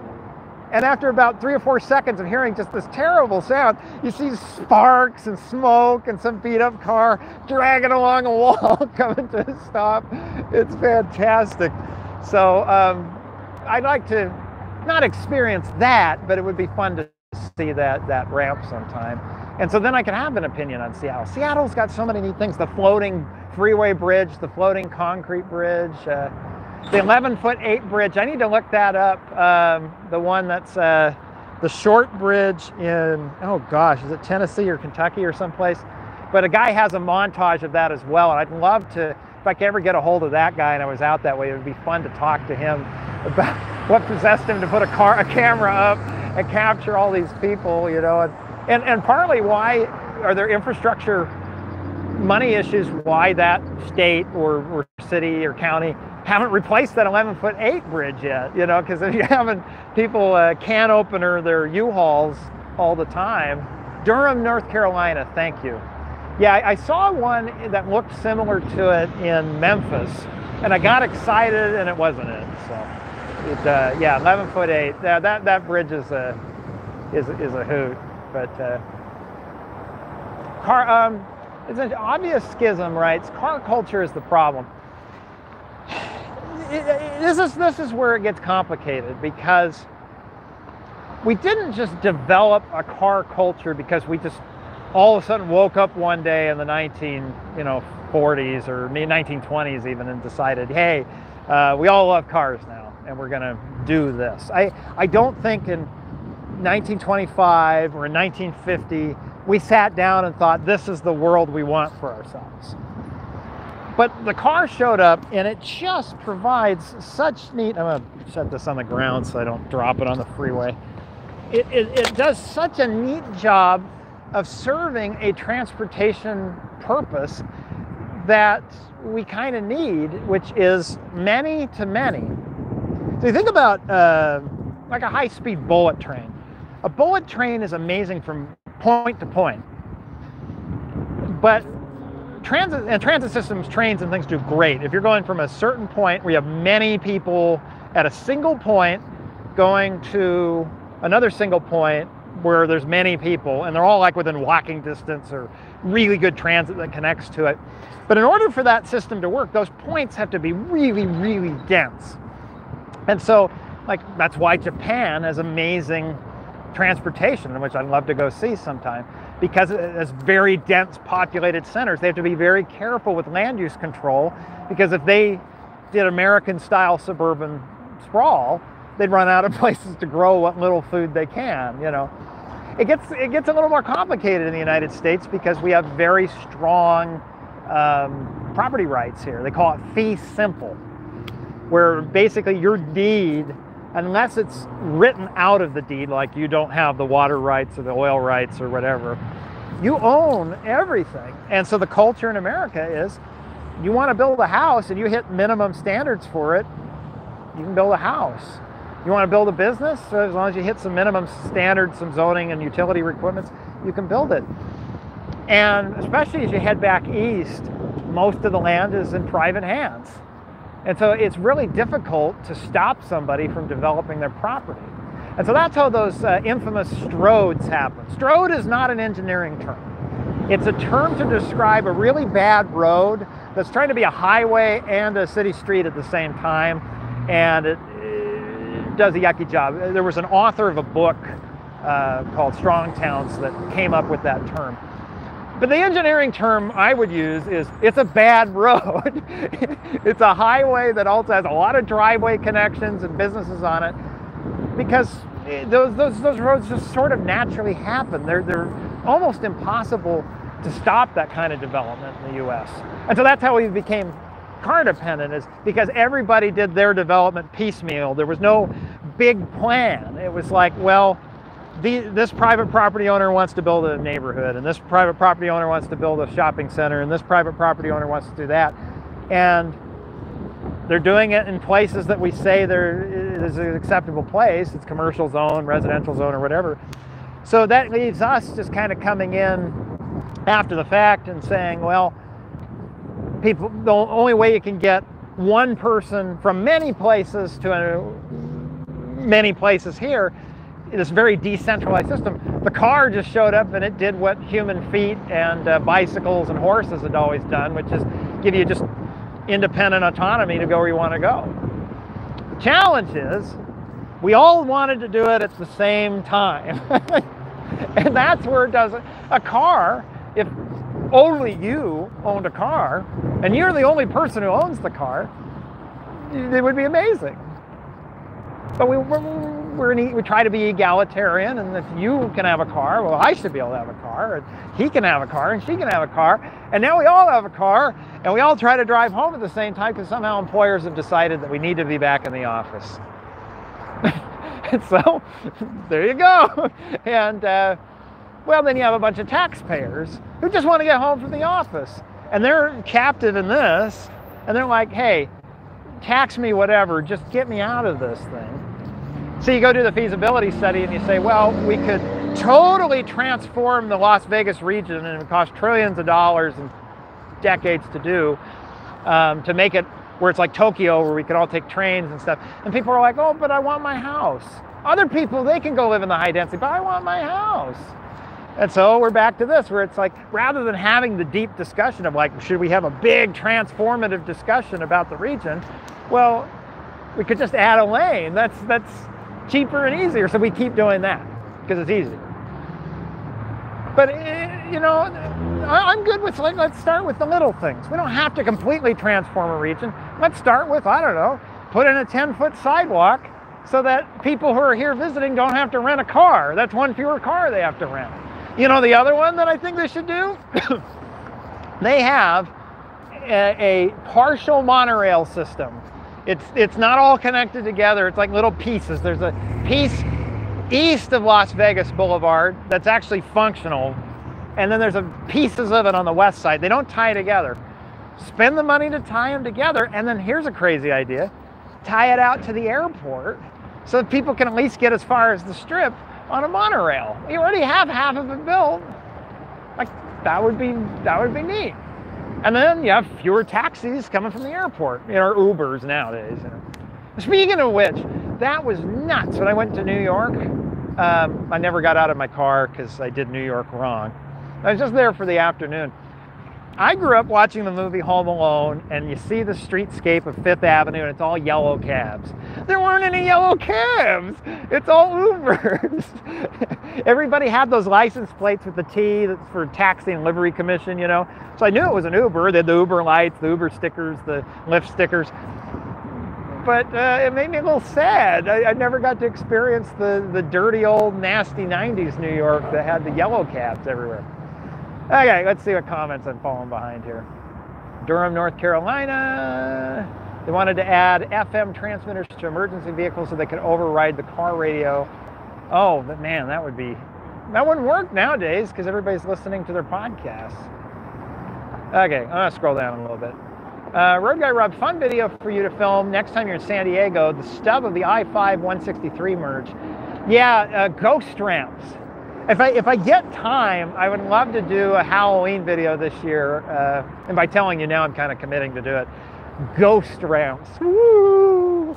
You know, where they, they built a freeway interchange. Portland has a ton of them, which I mean I'd have to go up there again, but um, where they intend to build a freeway. So they build a ramp, and then they never finish it. I, I saw one in Connecticut. Uh, there's one in uh, I haven't been there, but Baltimore where they tore down a perfectly good neighborhood to put in an urban stretch of Interstate 70 that never got connected to Interstate 70 because they built the ghost ramp, but then that went through a rich neighborhood and they fought it and it never got built. So, uh, ghost ramps are, are, are, pretty cool. And then, the, you know, the whole ghost thing.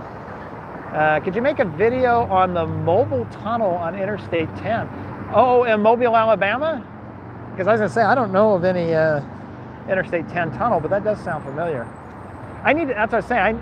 I, I'm going to do is go through all the chat when I get home tomorrow and go I have a Google My Maps and I'm keep putting pins every time you give me an idea that's I put a pin in and then if I can drive through there then that gives me an opportunity to maybe get a story out. Okay. Pete Martin, 999. Thank you, Pete. Says, is there an urban planning theory support more but smaller freeway routes over less but bigger freeway routes? I'm thinking of Minneapolis and Chicago, uh, Minneapolis, St. Paul versus Charlotte, for example. And yeah, that crossed my mind because I grew up in Salt Lake City, which is roughly similar to Minneapolis, St. Paul. It's a little bit smaller of a region. And because Utah is very linear, it's like Miami where there's uh, geo geographical constraints for Miami has the Everglades and the Atlantic Ocean that put them in this long 95 corridor. The Wasatch Front's the same way. You have the Great Salt Lake, or what's left of it, and uh, mountains and lakes and things, and then the Wasatch Mountains, and so it's very long and skinny. So Utah, like Miami, is very dependent on the interstate highway that goes through it. So you have the one big, wide, huge route. Um, with some parallel stuff. Minneapolis is nuts. Minneapolis is nuts because it's got all these little two laners, you know, two lanes each way or three lanes each way, small freeways, but there's like a freeway every three or four miles. And uh, it would be fascinating to know, uh, I don't, and I don't know the answer to that because part of where you get um, the, the, the, the constraint where the freeway starts jamming up, bottlenecking, is at nodes where two freeways connect together. Anytime, the, the best freeway in the world would be one that has no on-ramps. It just it just goes, you get on it, and then yeah, you can exit off or whatever, because it's where cars enter, you have a lot of lane changes and things. And so you have Miami or Salt Lake City or LA or someplace, Texas, has one really wide freeway, and everybody keeps entering on you have a lot of weaving of people trying to ch change lanes because they want to get over six lanes, and so they so they have that problem. On the other hand, you have Minneapolis where you have the nodes where you have all these freeway interchanges where they come together because you have that network, that grid, and so there's all these places that can cause weaving, even though there's less weaving when the. Huh. That's an that's an interesting one. I I, I don't have an answer for you, but. Uh, if you like U-Hauls getting can opener, check out Storrow Drive in Boston. Okay, I'll put a pin in that one. Thank you. That's $5 from Andrew M. Um, let's see. JSBN123 with the uh, very specific amount of $25.69 writes, I like roads and guys and Rob. Well, thank you. Well, I appreciate that. I, I, I will take a compliment from anybody who likes me, so thank you. Uh, Mr. 504 for 199. Thank you very much, Mr. 504. Thank you again, I should say. Thoughts on dynamic traffic signs on the freeway there? Yes, thank you for pointing that out. In fact, how can we see one? Where's the? Uh, let's uh, let's go. Let's go walk toward one. Uh, pick up my stuff here. I so want. Um, I, I so want to talk to NDOT about so many things. That's I'm always a little sad when they just send me a press release and say, "Here you go." I need to. I'll try again because I know in the past they've, they've been very, very helpful. Just lately, I, both the DDI story and, and then this one, they just sent me materials. I didn't really get to go real deep with them, but I would love to take you guys on through a deep dive video into these electronic signs that they put on Interstate 15 here. And I'm gonna try to zoom it. It's probably gonna be potato quality. See if I can get it to focus. Come on. Yeah, it's, it's really struggling to focus. I think you probably can kind of see it. What they've done here is been able to mark dynamic speed limits with these overhead signs and also show you when there's traffic say there's a crash in the number two lane, they can put a big red X over the number two lane to let you know it's closed or a big yellow arrow that says merge. So you know way ahead of time what's going on because sometimes you end up in a, you know, California, this happens all the time. I'm in a traffic jam and I know, well, I'm happy to start accommodating and moving out of the way of the traffic jam, but where is it? The, well, NDOT's giving you a solution. They'll tell you exactly where the jam is start moving you over. Oh. People walking by hoping they could crash it thinking it was in selfie mode, but uh, they missed out. Anyway, um, where was I? So this is pretty cool. The other aspect of this too is not just the dynamic overhead signs, but it's the fact that they can um, change the speed limit dynamically.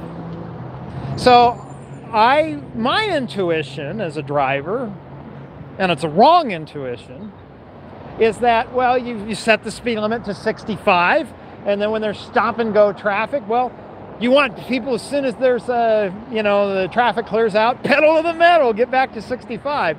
Well, it creates this sort of seesaw effect where it's uh, speed up, slow down, speed up, slow down, speed up, slow down. It's like a, a choppy uh, wave, you know, wave pool. And that would be fine, except the way we are as human beings, we accelerate much more slowly than we brake. Braking, we'll all brake pretty fast together because it's do or die. You don't want to crash into the car in front of you. But taking off, well, some people like me gun it, and other people are leisurely and take off slow. And that rate of accelerating back up to the speed limit is slower than our braking speed. So every time you seesaw and you have that stop and go, you lose performance in the road. So the engineers were smart and they figured out, well, when it gets where it's seesawing like that, drop the speed limit. Right now it's not 65, it's only 55. And if you keep everybody going 55, that's faster than if you averaged, you know, 40 miles an hour section, 65 mile an hour section, 40 mile an hour section, 65 mile an hour section. You'll travel through the corridor faster at 55. Or, or they'll drop it all the way down to 35 sometimes. Um, sometimes they'll have the carpool lane five miles an hour faster than the other lanes because it's moving while the other lanes are jammed up. There's so many neat aspects to that. I absolutely crave coming back and doing a video on that.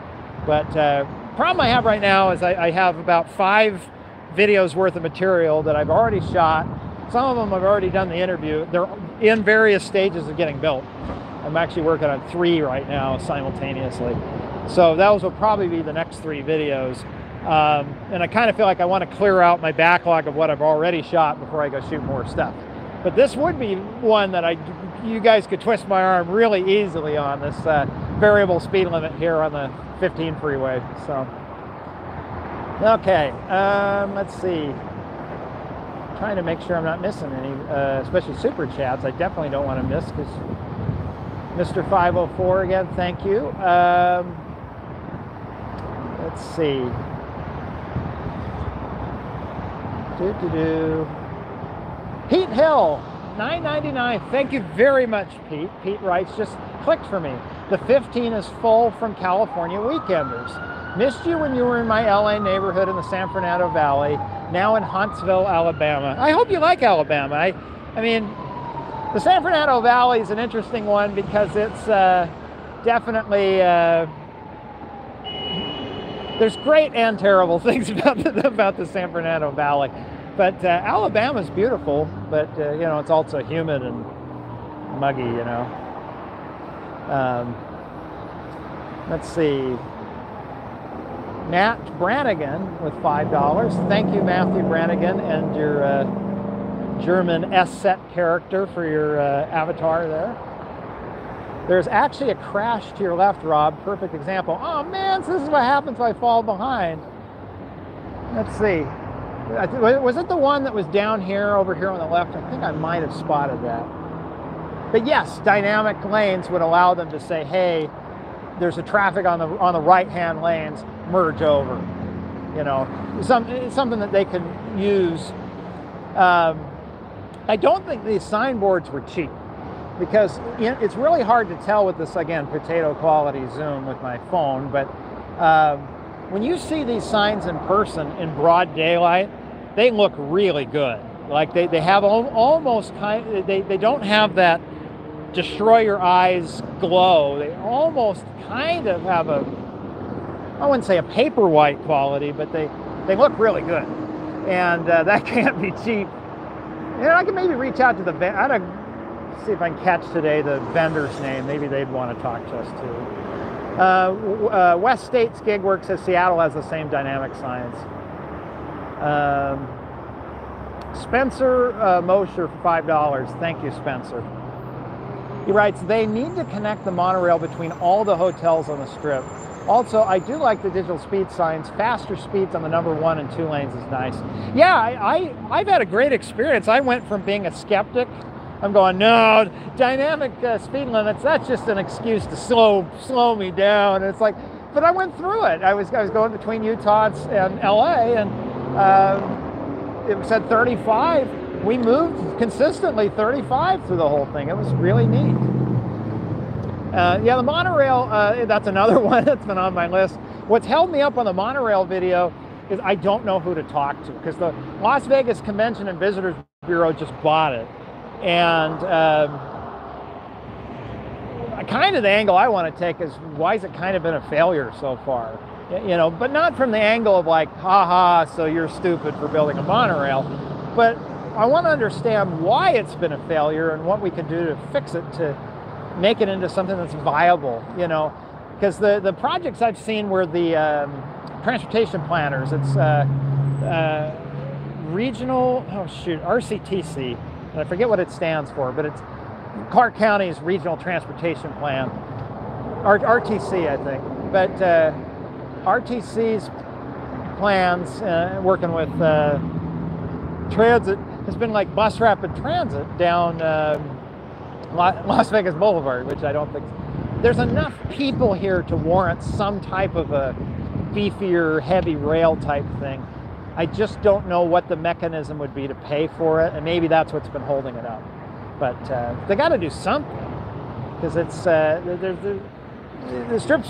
Last 20 years, it's only got bigger. Like, like I just don't see people giving up and not going to Las Vegas. You know. Mars, Misha, love you, Rob. Love you too, dude. Uh, City did, Nerd did a good video on public transit in Las Vegas, including monorail. Okay, I'll have to check that out. That's from Kaylin. Um, let's see. Uh, yeah, Alex Great says uh, you're going to go see the drain thing. Uh, so we got a choice. So start chatting now what you want. I can walk over here and look at the drain, and I might still do that anyway. Or we could go for a little bit of a longer walk that way, and I can show you all the stair, the uh, uh, escalators that go over Las Vegas Boulevard. I, I, I showed it briefly in my, one of my videos about medians, uh, but we can go look at those, or the drains, or you know both. But real quick, while I tie my shoe, start voting what you guys want, and I'll, I'll be just a second. I gotta tie my shoe. Uh, oh, I see my friend Dave Pruitt. One vote for drains, one vote for either. So, so far drains are in the lead. S, one vote for escalator, two votes for escalator. Also hit up Gordon Ramsay restaurant. Well, you guys tipped me pretty well. I could either use it for gas money to get home or go to a Gordon Ramsay restaurant. Escalators, drain. Oh, you guys are. I'll just rip myself in half and we'll do two streams. We'll do both really quick. I want to go to the escalators because I don't want to backtrack and then come back. And uh, but we'll do both. We'll do both. I promise. I got nothing. I, this is how I choose to spend my St. Patrick's Day, and uh, I'm honored that you're choosing to spend it with me as well. Um, okay, we'll walk toward the strip. But we will. I promise those that want to hang out for the drains, I will do the drains too but uh, they're both they're both really cool. But I just I don't know. I it's like yeah. Anyway, taco escalators. You got me intrigued. I would love a taco escalator, whatever that is. Any thoughts on the future of I-11? Blaine writes. Um, I've been watching um, the public meetings and things they've been having because the next phase that uh, oh gosh, I've forgotten her name, but she was the one who uh, was so kind and talked to me for a long time for the I-11 video. And so the next step is figuring out where does I-11 go through the Las Vegas Valley. And at the time, they, they, they hadn't ruled out anything. They were, they were saying, well, traffic stops. I'm not going to go. Everybody stopped on the freeway ramp here. So I don't think I'm going to get smushed. Um, they hadn't ruled out the thought of maybe building an additional freeway uh, for I-11 along the north side of the freeway, uh, north side of the city. But most likely, they were um, um, going to uh, take uh, the probably one of the existing freeways, either the 215 Beltway or uh, Highway 95, the 515 freeway. If you're those of you following along, uh, if you're following along on a Google map, the 515 freeway and making that I-11 instead. Um, but they, you know, there's public meetings and things because they want to make a good decision so that that way they don't, you know, if you, you part of what happened in the 60s and why we got some kind of crappy freeways is they just did it really fast and didn't really talk to anybody. You know, you could go from an idea to bulldozing stuff in 90 days, you know, and uh, now what they're doing is slowing down, trying to document everything. It costs more, it's slower, but the, the upside is that you you do end up with uh, um, a better product when you're done. So it's oh, this is interesting. They have they're taking the sidewalk instead of to keep going uh, straight toward the uh, toward Las Vegas Boulevard. They uh, they turn the sidewalk and go underneath this flyover ramp And even though the bridge is out, this is the bridge that they they demolished, and they definitely don't want anybody up there. But we'll just uh, they still don't want you crossing it because when it was open, you'd have cars probably going about 50 miles an hour through here, and putting a uh, pedestrian crosswalk at the bottom of that ramp would probably be not safe. not without a signal anyway. And rather than, you know, signaling these really frustrated drivers who are just zooming off this thing, feeling really happy that they get to go fast, they're saying, I can see them, they're saying, hey, you got uh, a big bridge here anyway. That could work to send pedestrians underneath. So they, they send us under, underneath. And I am falling behind on a few comments here. You have a safety vest, so you can cross it. Jesse D writes, did you grow up in Salt Lake and move to LA? Yes. Here, hold on, let me, I don't want to disturb this gentleman. Somebody's trying to sleep and I don't want to, I don't want to bug him. He looks like he's having a bad day. Yes, I grew up in uh, the Wasatch Front of Utah. And then after grad school, moved to Southern California, and I live in the Central Valley now, but uh, I'm, close, close enough to LA. I consider it LA. And there was another comment here from oh uh, JPN123 again with with 2569s. That's such a fun number. Uh, that's very generous of you. Uh, writes, In-N-Out or Gordon Ramsay? Eh, I'll take a double double. you know, I mean, it's it's good. It's it's it's good value for the for the money, and I don't know. It's yeah, I like In-N-Out, but you know, I kind of but I like what they've done here at this. It was I'm all for direct connections for pedestrians, but that wasn't too bad of a detour to be able to go underneath a high-speed flyover. That's just that's just a good design. I, I like that. Also, really like this here the, the barrier between uh, the traffic that's supposed to be going 35, but let's be honest, the, they're not going 35. I should have brought, oh man, I have a, for Christmas, a friend gave me a speed gun. We could have been measuring how fast these people are coming off the bridge, but next time. But the barrier just make it, you know, it's not the prettiest thing. There are better ways you can do that when you have the space with you know, trees and more, you know, more aesthetically nice stuff. But push comes to shove, that's good money well spent. I feel really, really good about walking down the sidewalk. I, you know, at least until the barrier gives out, I feel confident I'm not going to get smushed.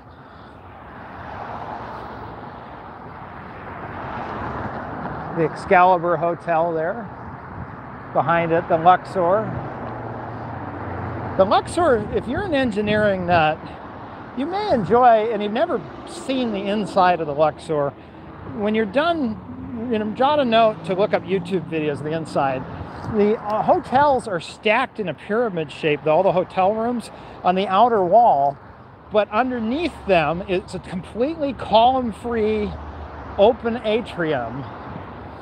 And uh, it's weird. Like you see it, hallways going up, you know, 20 stories or whatever for all these rooms in this open atrium, and it's it, it's uh, it's it's amazing to see. It's also a little bit uh, terrifying. you go like, oh man, there's like nothing. You're asleep in your bed in your hotel room, and you're suspended, you know, 200 feet above a, a gambling floor. It's kind of kind of nuts. But just the creativity that at one point somebody sat down with investors and said, hey, I want to build a casino that looks like a knockoff of the, of the New York skyline. I mean, that's, that's just wild, you know, and it's just, I don't know, it, to me it's, there's a lot of neat engineering everywhere in the world, but Las Vegas has plenty of it, plenty of their own. Well, while I'm walking, let's look at more chats. Let's see. Oh, I'm tripping on the cord here. You guys still hear me? What's with the clear, blurry streams? Sorry, hopefully it's looking better. Is it starting to blur up real bad?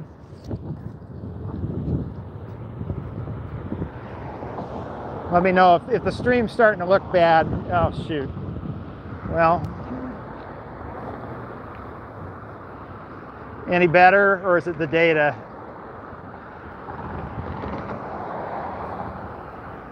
Okay, well, if it, if it gets unacceptably bad, let me know and we could go ahead and wrap up. But, uh, um, okay, it's better. That's good. And there was uh, somebody, there was also somebody here I wanted, gave some money I wanted to thank. No Diggity 247, thanks for the field trip. $23.45, which is incredibly generous of you. That's like actually go out to eat at like one of those restaurant type money. So like like others, thank you so much. Oh look, a roller coaster. I mean, you imagine the any other city in America besides Las Vegas, you show up at a bank, say, hi, I'm looking for investors in my project. Well, what is it you want to build, Mr. Mister? Uh, well, I'm thinking about building a casino hotel, all right, that looks like the New York skyline and is surrounded by a, a roller coaster. No problem. We'll, we'll invest in it.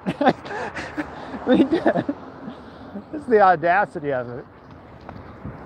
Hey, do you plan on returning to Texas and covering the roads again? Yeah, at some point. In fact, I, I wanted to tease Not Just Bikes a little bit because he has that video about how Houston sucks. And so I was talking with Houston trying to say, well, okay, it may suck now, but like, what are some things that the city's doing to try to make it better? And kind of really get into like why Texas, Houston turned out that way. And it was kind of all set, and then it got rained out, and so I ended up shelving it for now. But the others, I, I kind of feel bad. I don't want to antagonize them. I, you know, he, he, made, he, he said he didn't do it because of me, but he made a video where he took one of my videos uh, about like hawk beacons and stuff and kind of just turned it inside out and said they were everything, everything, all my suggestions were terrible.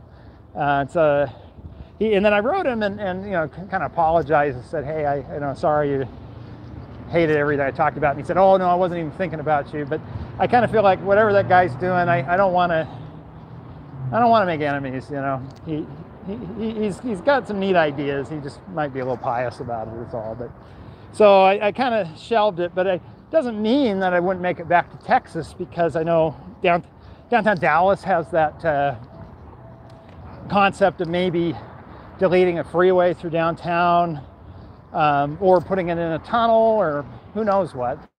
My train of thought here, but we are at the corner where you definitely don't want to walk that in, in person. Now, the good news is they really make it impossible to cross this. It's kind of difficult to see is that there's not just a fence there, there's actually a big grade change, like three feet. And you'd have to be really nuts to try to walk over that.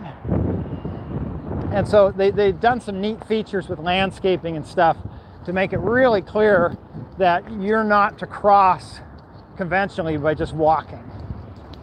You know, the, the wall is tall, it's it's definitely now speaking of drains they do have it's interesting at the bottom of the wall here this would be a low spot where all the rainwater would collect.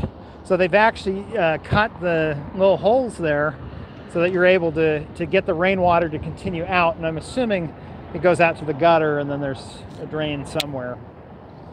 But uh, it's funny because uh, there's there's still here the um, remnants of when people could cross the street. You have your ADA ramps there where um, they, they've cut the concrete low so you're able to roll up onto it.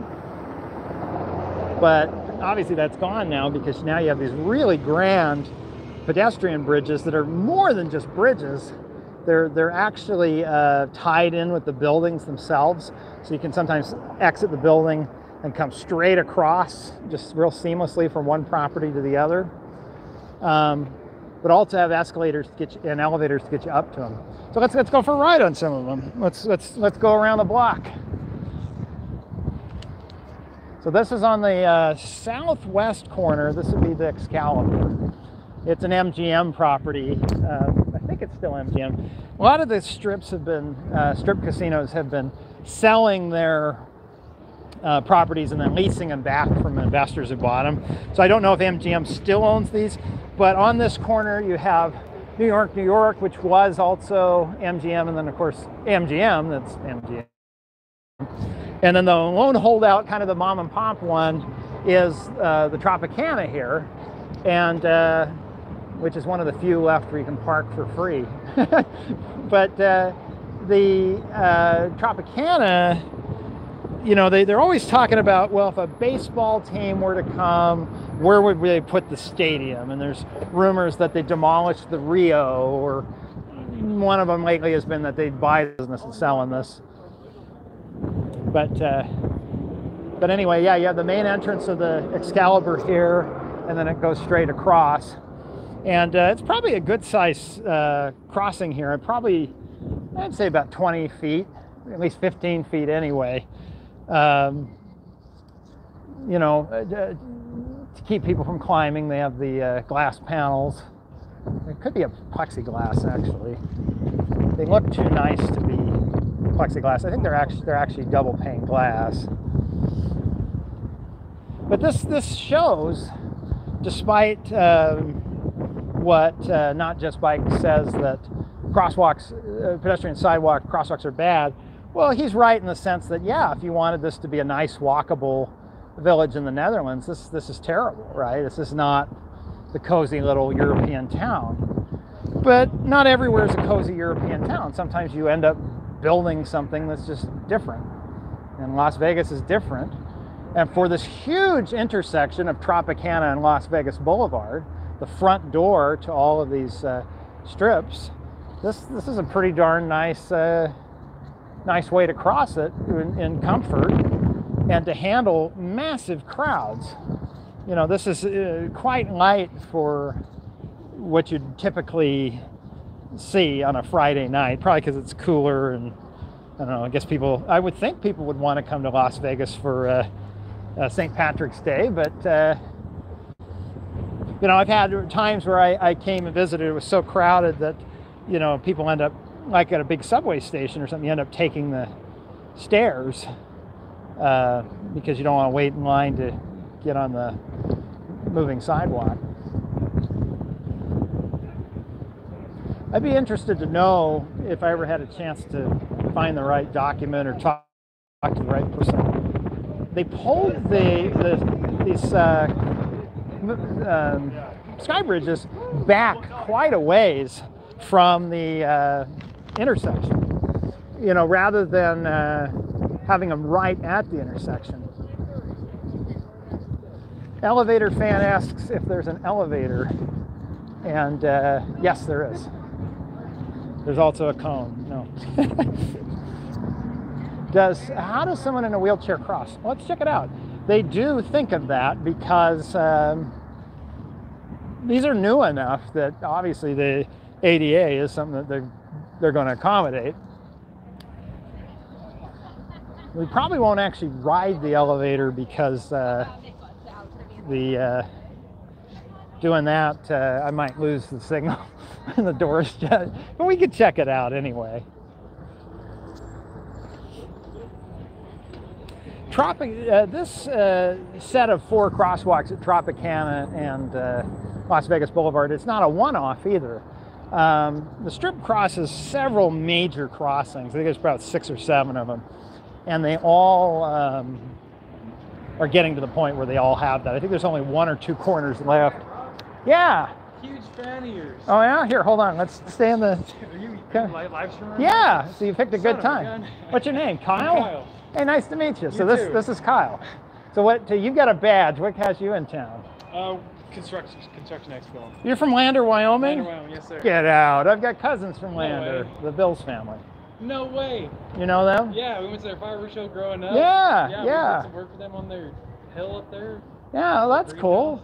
So, so you're Precision Dirt Works. So, what Yes, kind of sir. what kind of dirt work do you do? Residential excavation. We Basements? Mountains, basements, house digouts, a little bit of road stuff here and there, concrete prep, all the above. Sewers. Have you seen what they do here in Cal- California and Nevada when there's a new house? No. So I'm used to where I grew up, and I think Lander's the same way. You have your hill, right? And the street goes like this. You go to build your basement. So you, you dig down and you kind of fill in and you pour your basement. Right. They'll take a perfectly good lot like this, level the whole lot from edge to edge. And, and then in a subdivision, they'll do that from for 100 lots. And so you see a brand new subdivision, it's staircase, staircase, staircase, staircase, because they don't excavate basements. They just put something, they just put a, uh, because footings don't have to go down that far Right. because there's no frost. Right. And so they'd rather just have a, a flat lot. It's nuts. I like the walkout basement. We have a walkout basement. We did our house. My dad built our house. So we got a walkout basement. It's really cool. Well, it's like having a second house because if you have a walkout basement, you can you double you double the size of your house and you uh, you end up with uh, more space. But uh, how long you been watching? Oh, about a year. Oh, that's cool. What, Yeah. what, what do you remember? What you clicked on that The sucked road in? Cal- the one with the roads, the lines that are crooked and Hollister, California. the. The mayor texted me like two days ago and said they finally fixed it. Put in all the little There we go. po- bumpy poles and stuff. So uh, when it's not all flooded, I'll, I'll have to go see it again. Be but, awesome. uh, but yeah, we're, we're doing a live stream. You're joining in with uh, 286 Hey, uh, there we go. folks like you who uh, we went and saw. Um, I assume you being in town, do you have a rental car? Have you been driving around? Uh, actually, I live in Utah for going to school, so I just drove down. okay. You- Did you exit at Tropicana and see the big mess at that interchange there? I've, I've been looking at it from up there. Yeah. Yeah, so that's where our field trip's been today. We've been we've been going over all the fun uh, stuff that you know NDOT's been working on with that, and then uh, we had a choice. We could either go look at drains or uh, the strip, and I asked uh, friends on the chat here what they wanted to do, and it was like two thirds strip, one third drain. So we'll go to the drains next. But Cool. uh, so that's so that's cool. We got to run into Yeah. you. So. So, what was your big takeaway from your uh, conference so far? What, Oh, what did man. you What did you learn that you didn't know before? Well, there's incredible technology out there. There's all sorts of software to make things easier on the worker and the, especially the boss too, to track hours, to look, all that cool GPS stuff to help things run smoother, be more precise. So you're talking like project management Yeah, software. project management. But at the same time, we learned that we, we kind of were curious about it. We learned about it, and we realized that's not the right Keep talking. it's not the right uh, equipment or not the right style for our type of work in town. So we learned about the cool stuff, but we really kind of just figured out that where we are at in our niche is where we're at. It wasn't worth spending twenty thousand dollars for a specialized software. Yeah, it's just not it's not built for what we do. And so we came here, we saw a lot of equipment. We're looking for new equipment too, so we're looking between a John Deere and a Volvo and a Cat. Do they? Is it like the auto show? Do they have like bulldozers parked Yeah, inside there? They have equipment everywhere. It's wall to wall equipment. Oh Just man! Incredible booth. So Caterpillar had a giant booth. Komatsu had a big booth. John Deere had an incredible booth. Sany, some Chinese brand, had an incredible booth too. Right. And so you, Caterpillar had a demo, demonstration. How they're equipment out, doing cool stuff in the dirt. Volvo let us run around the equipment. Had us stack things on top of each other with forklift. Oh, to see if we really? could operate a loader good enough to do that. And if you did, you got a hat. So I got a hat doing that, which is Oh, fun. congrats! It's, it's really hands-on, all sorts of crazy equipment. Really, really cool. Well, that's that's neat. Well, I'm Yeah. real, I'm really happy uh, you were able Yeah. to, to, to flag That's me great. down. Yeah. Well, good to meet you. Nice to meet you, Kyle. Yeah. Enjoy your field trip. Yeah, you too. Well, that's fun. That's fun. So it was uh, being able to to the Hollister video with the zigzaggy road that he, he spotted it. But uh, anyway, um, we're here with an elevator. see if I just see if I miss any. Uh,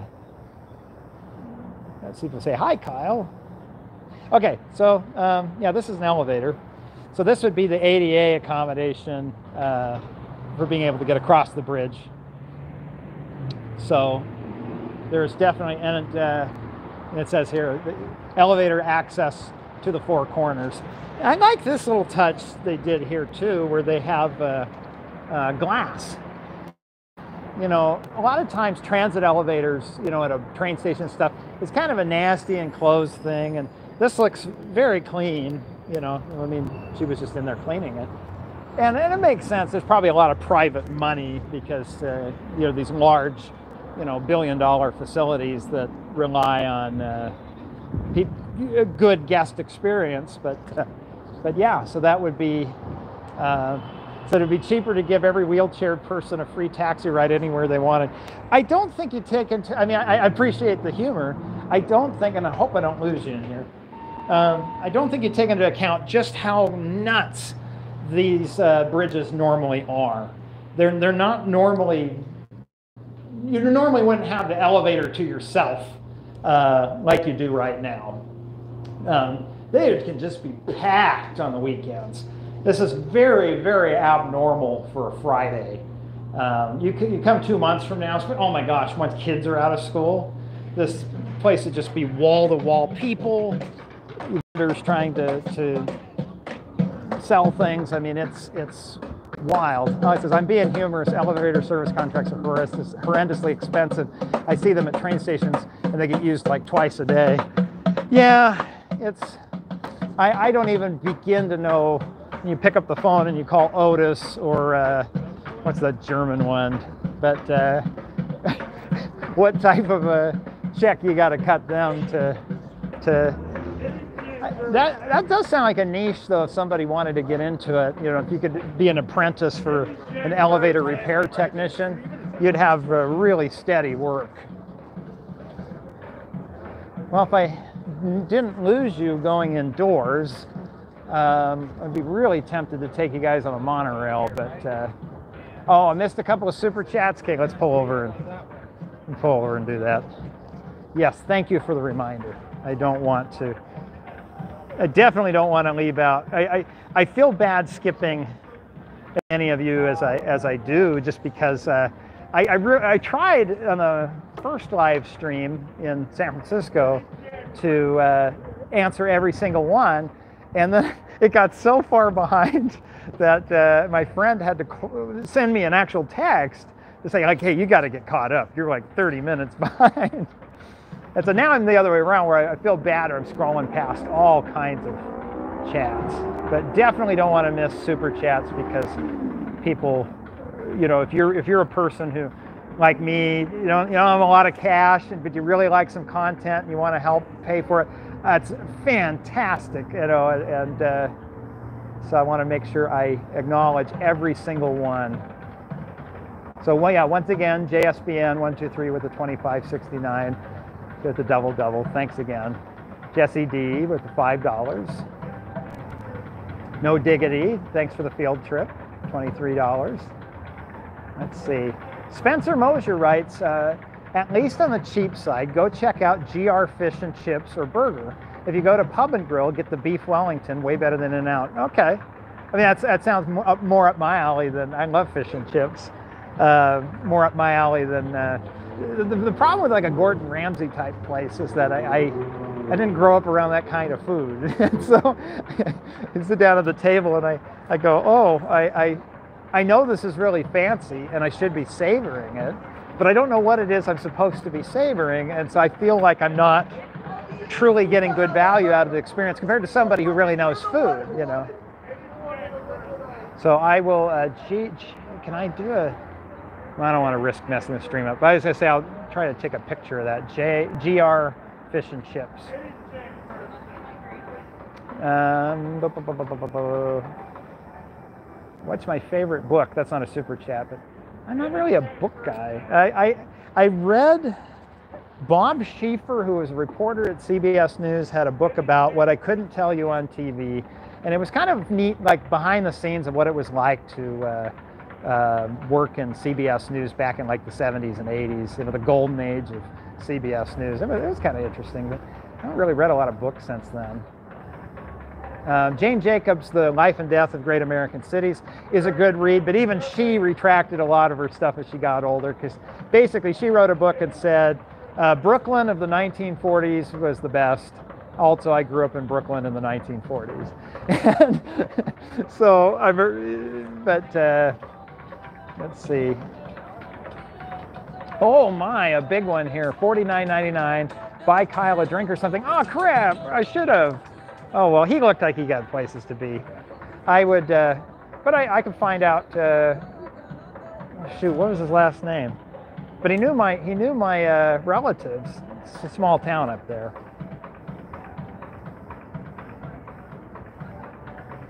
Let's see. You missed a couple of super chats. Yeah, I think I'm, I'm getting caught up. ThyssenKrupp. Yes, I think uh, there's like another one that was. ThyssenKrupp was the elevator company that's German. We're getting really off track here. Casinos probably have free Wi-Fi. Monorail. Well, maybe there's a way I can like get down to the sidewalk. We can at least see the outside of the monorail. Who is your dentist, Rob? Beautiful smile. Um, actually, you know how Kyle was talking about how he knew my cousins? My uncle, who since passed away, but he was a little bit nuts.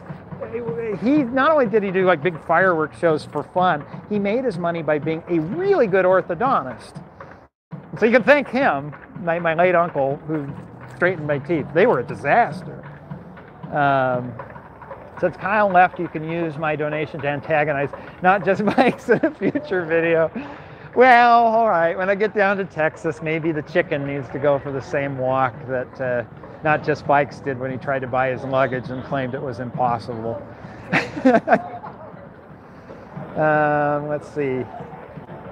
Uh, what's your favorite traffic engineering textbook? Oh, you know, I, have got a soft spot for the uh, uh, MUTCD. Like the MUTCD, the MUTCD is fun to just pop open and let's let's talk while I'm walking to the monorail. We can walk and talk at the same time. I'm gonna, in fact, let me put this away in my backpack so my hands are free. The, the MUTCD, you know, when I was a little kid, my mom made a book for me of like, not just road signs, but it was like business logos and stuff she'd cut out of the newspaper back, you know, in the 1980s. And um, I would just stare at that, all the, the little logos and stuff. And, and I think a lot of people who like transportation really have a soft spot for the signs. The signs are like iconic brands that we grow up with, but unlike even McDonald's, who over time changes their brand, um, you, you have uh, these road signs that really don't change for decade after decade. They, they look the same. You know, the sign that says right lane must turn right um, looks the same as it did when I was a kid, you know, 30, 30 35 years ago. And so um, being able to just, I don't know, have that kind of like comforting thing of like in a changing world where AI is going to put us all out of work and climate change is disrupting transportation and our way of life and having to address how we're going to power our cities and what we're going to do for work and how we're going to afford housing and all this stuff that's changing there's something weird about like, but the sign still says right lane must turn right, the way it used to, you know, when I was a kid. It, it, it's like seeing an old friend. And so, I don't know, getting in the MUTCD and flipping through all the signs can be, it can be a lot of fun, you know, I, I don't know. So we got a little bit of a walk here. We're gonna walk down to a street that parallels Las Vegas Boulevard. Las Vegas Boulevard's behind us and the street's called Koval, K-O-V-A-L, and that's the street that the monorail, a, big chunk of the monorail runs along. And uh, so we'll go walk down to, it's not this first signal. The first signal is, I think, the driveway to the MGM parking garage, but the, uh, the second signal a little farther down. And uh, famously, Koval was the street, I think, where uh, I think Tupac got shot about a block or two from here. So, you know, not that that's uh, really relevant to transportation, but uh, Schindler Elevator, yes, that's what it was. Okay, let me see if I can get caught up. MUTCD, you're walking away from the monorail. No, turn around, take the monorail. I'm walking toward the outside of the monorail. So I'm not, I'm not going inside because I'm afraid I'm going to lose you guys. but, uh, and I don't know how MGM feels about live streaming in the middle of their building. They probably are fine with it. But Adam wishes everybody a happy St. Patrick's Day. And if you think about it, I'm wearing both green and orange, which means I'm representing the entire island for good or for bad. so happy St. Patrick's Day to Catholics and Protestants alike. Thank heaven for the Good Friday Agreement. Okay, um, so this is the main entry for MGM. And then to get to the monorail, we go past it. So this could be a time to read more of your chats. Do not, did not expect Tupac trivia from Road Guy Rob. Well, you know, he sings a lot about LA, and LA has roads, so therefore, I mean, it's green. I better wait. I'm also in Nevada where the uh, technically jaywalking is still ticketable, right? So, okay, let's see. Savvy wishes also a happy St. Patrick's Day. Not on Reddit, unfortunately, didn't know where it is. Come to the coast of Mississippi. We've been installing crazy road infrastructure. What, uh, uh, Kent of Mississippi, what uh, towns in particular? Because I can, if you give me something specific to look at, I'll pin it on my map. I don't know when I'll get there, but at least if I have it on the map, I can, uh, I can have a chance to, to see it. I'd forgotten how far down this walk is. It, this, this does lend credibility to the urban planners who talk about we build cities that, yeah, even if we put in all the pedestrian infrastructure like we should, this is a nice, it got to be like a 10 foot sidewalk, at least eight foot. Um, it's still just a long walk. And so you notice that back at the strip where things were a little more closer together, there were a lot of pedestrians, but the farther away I'm getting from it, you know, the harder it is. The actual monorail entrance is inside MGM, but the uh, actual monorail itself, well, you'll see it here in a minute. I'm almost to, well, I thought this was Koval, but the sign says something else. Anyway, let's see. Um, not on Reddit, unfortunately. Happy St. Patrick's Day. Sent you a Patreon message. Still need an interview from the Carmel mayor. Yes, Jack. Thank you. I I, uh, I saw your email. I, I, apologize if I haven't replied to it. I what happens is I use my email as a to-do list, and if I reply, it gets marked as read. So I go, oh, I'll, I'll write him back tomorrow, and then I can start putting some things together. And then I get busy, and then I feel bad because then I'm replying much later than than you deserve. Because I, I do appreciate that a month ago you reached out to me with that. So I I'm not going to Indiana imminently, but I anticipate going to Indiana this year. So I will definitely want to be in touch. Um, I just don't want to uh, get the you know, pe people all ramped up and excited, thinking that, oh yeah, Rob's ready to come out and do a story right away and, and showcase all the roundabouts, and then say, yeah, but it might not be till like, you know, a couple months from now or, or the summer, you know. So, but I will definitely because I, I, I think I, I've never seen a city in America anyway that just committed, that just said, all right, we're doing this. We're, we're going to be a a roundabout town, you know. but uh, let's see. Do you think the road is too wide? Oh, this road here? Um, for what it's designed to be? No. Tropicana is a really major east-west thoroughfare. And if you have land use that is spread out, that requires driving, you have to provide infrastructure to handle it. Oh, here's the first part of the Look at that. There it is. The first bit of the monorail there. So it doesn't, it must turn before it gets to uh, Koval. So let's go, uh, let's go down this street. You know, if, if, if, if we're to commit to making an area more walkable, we could talk about making the street narrower and things because the, the goal is you need to be able to get to the economic activity that you want to do you can't just say, oh, oh, look, it's coming. There it is. There it is. So there's the Las Vegas monorail. This is the side that actually works. So this part, you actually buy a ticket. It's totally automated. It runs, I don't think it's quite 24 hours, but it runs to like, at least before the pandemic, it would run till like three or four in the morning.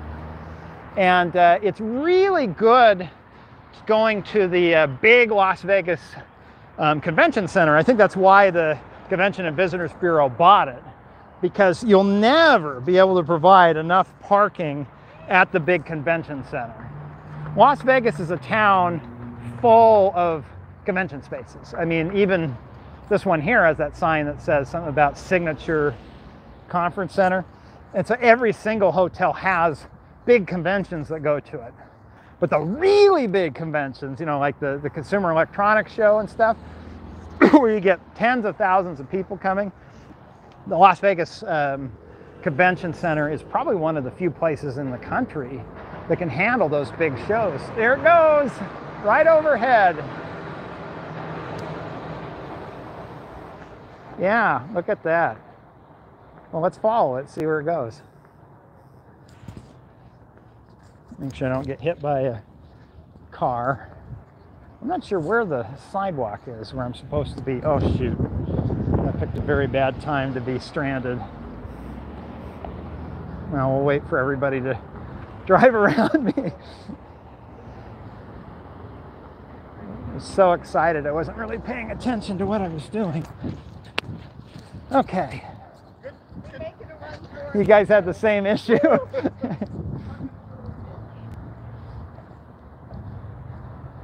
okay, so it looks like the, the monorail platform is actually right over here. Oh, let's see what it takes to get over there. I don't want to walk all the way around like that.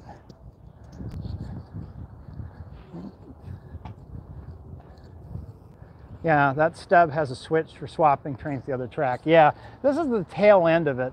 It wouldn't be that difficult to have it just keep going and then it would go end up at the airport. It's a good, this is, uh, uh, you know, it's a quality garbage for anybody else. Let me see if I switch the camera a couple times, does that make it any better?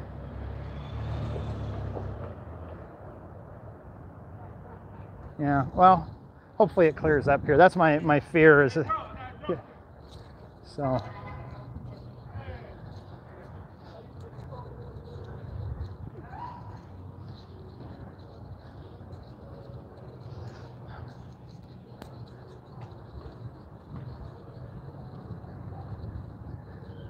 Adam mentions maybe not just bikes and strong towns can help rezone cities and suburbia. Well, it's not going to take advocates. Advocates draw attention to an idea. It's actually trying to convince people. People are the ones who vote in city council members and state legislators who influence policy. And so we kind of collectively have to agree that we're, oh, no access to the monorail. well, that's too bad. You do have to access it from the inside, apparently we could still look at it at least. That must be an emergency exit or something. And so, yeah, I mean, if you if we want to commit to really changing the way our cities are and being less car dependent, but trade off most people not being able to afford yards and things, we can do it. Maybe we should do it. But we got to get people warmed up to the idea because ultimately people who vote and live in it, it's their tax dollars, it's their spending, it's their property. You know, and I, and I think just simply yelling at people and saying, well, you're not being altruistic, we need to do this for the sake of whatever, is not a great way to go. So this is what's frustrating. The entrance to the monorail is right over that fence, but I have to go through the hotel to get there. Pete Martin, uh, Pete Marin points out maybe it will help alleviate housing prices. Yeah, I mean, I, I'm at a point where I would love to buy, because I couldn't afford to buy anything else, I would love to buy something that's like a glorified hotel room. Like, you know, you ever stay at one of those extended stay places and they've got like the little kitchenette, and then it's kind of like you got a desk where you can do work, and a bed, and a shower, and a toilet, and everything, you know. And I'm like, if I could buy one of those for like I don't know, $80,000, land included, you know, on a little tiny lot, and then um, finance it over 30 years, that would be a nice starter home for me that could have been, let me build up equity and, and kind of rent control myself with a mortgage payment. and, and buy into it. And the neat thing is that sort of a thing really lends itself to high density. You know, I don't need a quarter acre for something that's 300 square feet. Um, so this is sidewalk just ends. So we have to go to the other side. But uh, I'm really far away from my car at this point. I don't know how you cross here. Now this is where you get into an area that never has pedestrians, so they don't think about pedestrians. And so as a result, it's kind of lousy to be a pedestrian.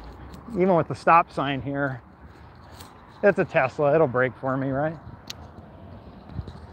Okay, let's look at uh,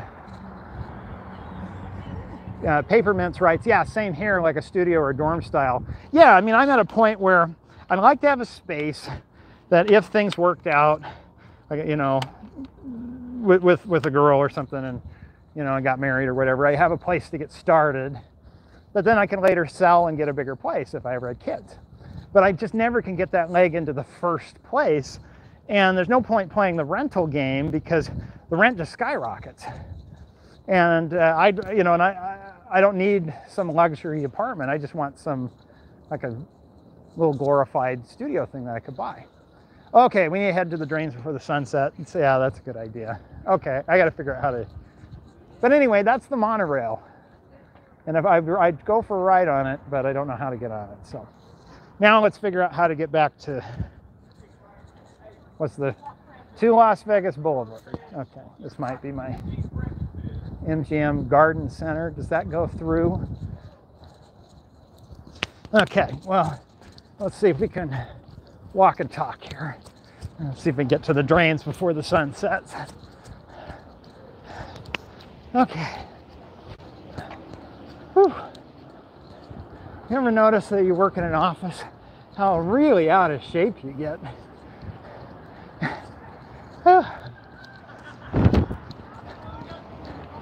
Okay, what we got going here?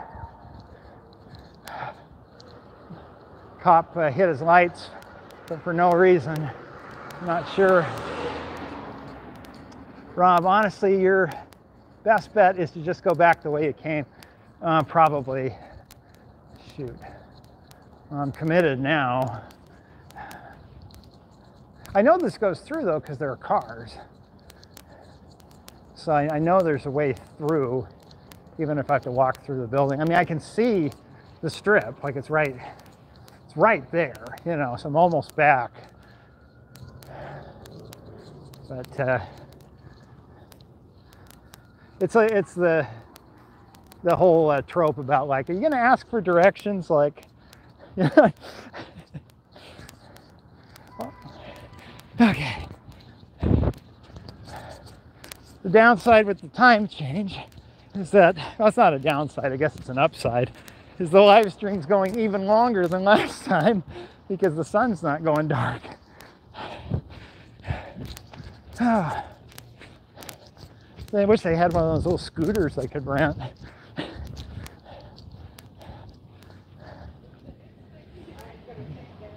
I see a stoplight. That's a good sign kind of interesting. This is the, it's like being on a Hollywood backlot. You get to see the backside of the show, and everybody's on the front side where they're staying in nice hotel rooms and fancy restaurants and stuff. But this is this is the real Las Vegas, where people where people get work done. You know, no sidewalk though. I guess there is one on the other side, but almost there. We're almost back to the street. Okay. Okay, we'll read some chance. Road guy Robert getting in his cardio today. You have no idea how bad a shape the pandemic got me. Did you have the same thing happen? Did you find that you were in like reasonable office shape in 2019. In fact, 2019, I was actually doing some construction work. I was in pretty good shape, and uh, it was great. I was losing weight, and then the pandemic hit, and I went back to doing office type work. And uh, now I'm bushed. Let's see, does, does Las Vegas have a bike or scooter rental on every block? Unfortunately, no. I haven't seen a single scooter in this town, and I really could use one right now, but I understand why. We're about to get to the boulevard here, and this is starting to look more normal, where you really don't have the space to ride a bike or a scooter because uh, you just hit people. And so that's probably why they don't have it. Imagine, can you only imagine on a scooter holding a camera? I could do it. If I can eat a cheeseburger while shifting a manual transmission and not getting in a major collision, I can do anything, right?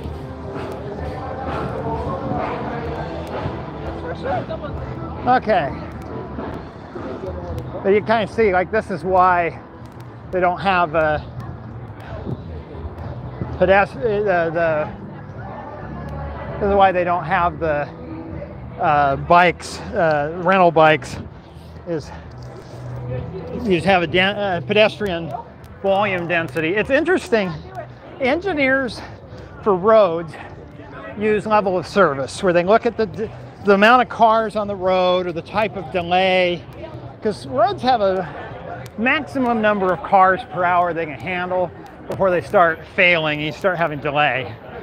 And if you Google pedestrian level of service, you learn about big, big cities in Asia, in Europe, in New York, that have crushing volumes of uh, pedestrian traffic. And so they actually have level of service that they, they have to deal with. And this is probably one of the only places on the West Coast where you'd have enough pedestrian volume at times where there'd actually be delay. Everybody's looking back. Well, good. I fit in with SpongeBob and everybody else, right? Maybe I can see if anybody wants to take a photo with me. Let's see just trying to read. Where'd the comments go? Come back, comments. Oh, there they go. If New York City ha can have a bicycle network, so can Las Vegas. That's true. Um, you know, it's right there. No, just kidding. no, but the uh, main difference is so much of this is powered off of one road. So yeah, if you could, there's room. There's no doubt you could put in a bikeway or something but that bikeway would would be barriered off where it wouldn't you wouldn't be able to just dart your bike in anywhere you wanted over here. And they'd have to be very strict about making sure that the, the bikes stay out where they're supposed to that they're not hanging out where the pedestrians are. Because the last thing you want somebody deciding okay i got my rental bike. I'll go ahead and ride it where the pedestrians are and you start creating you know then they start creating safety problems you know. So I don't know if you noticed that when we were at the previous corner, there's another sky bridge down there, just to show you that there is a uh, network of sky bridges. It's not, again not just this corner uh, with the four bridges. Let's see. It's almost 9:40 p.m. where I are. Uh, what about you, Rob? Um, obviously don't feel obligated to hang on. It's wonderful uh, that you uh, decided to spend your St. Patrick's Day hanging out and looking at bridges and talking about freeway interchanges and monorails and things we weren't planning on.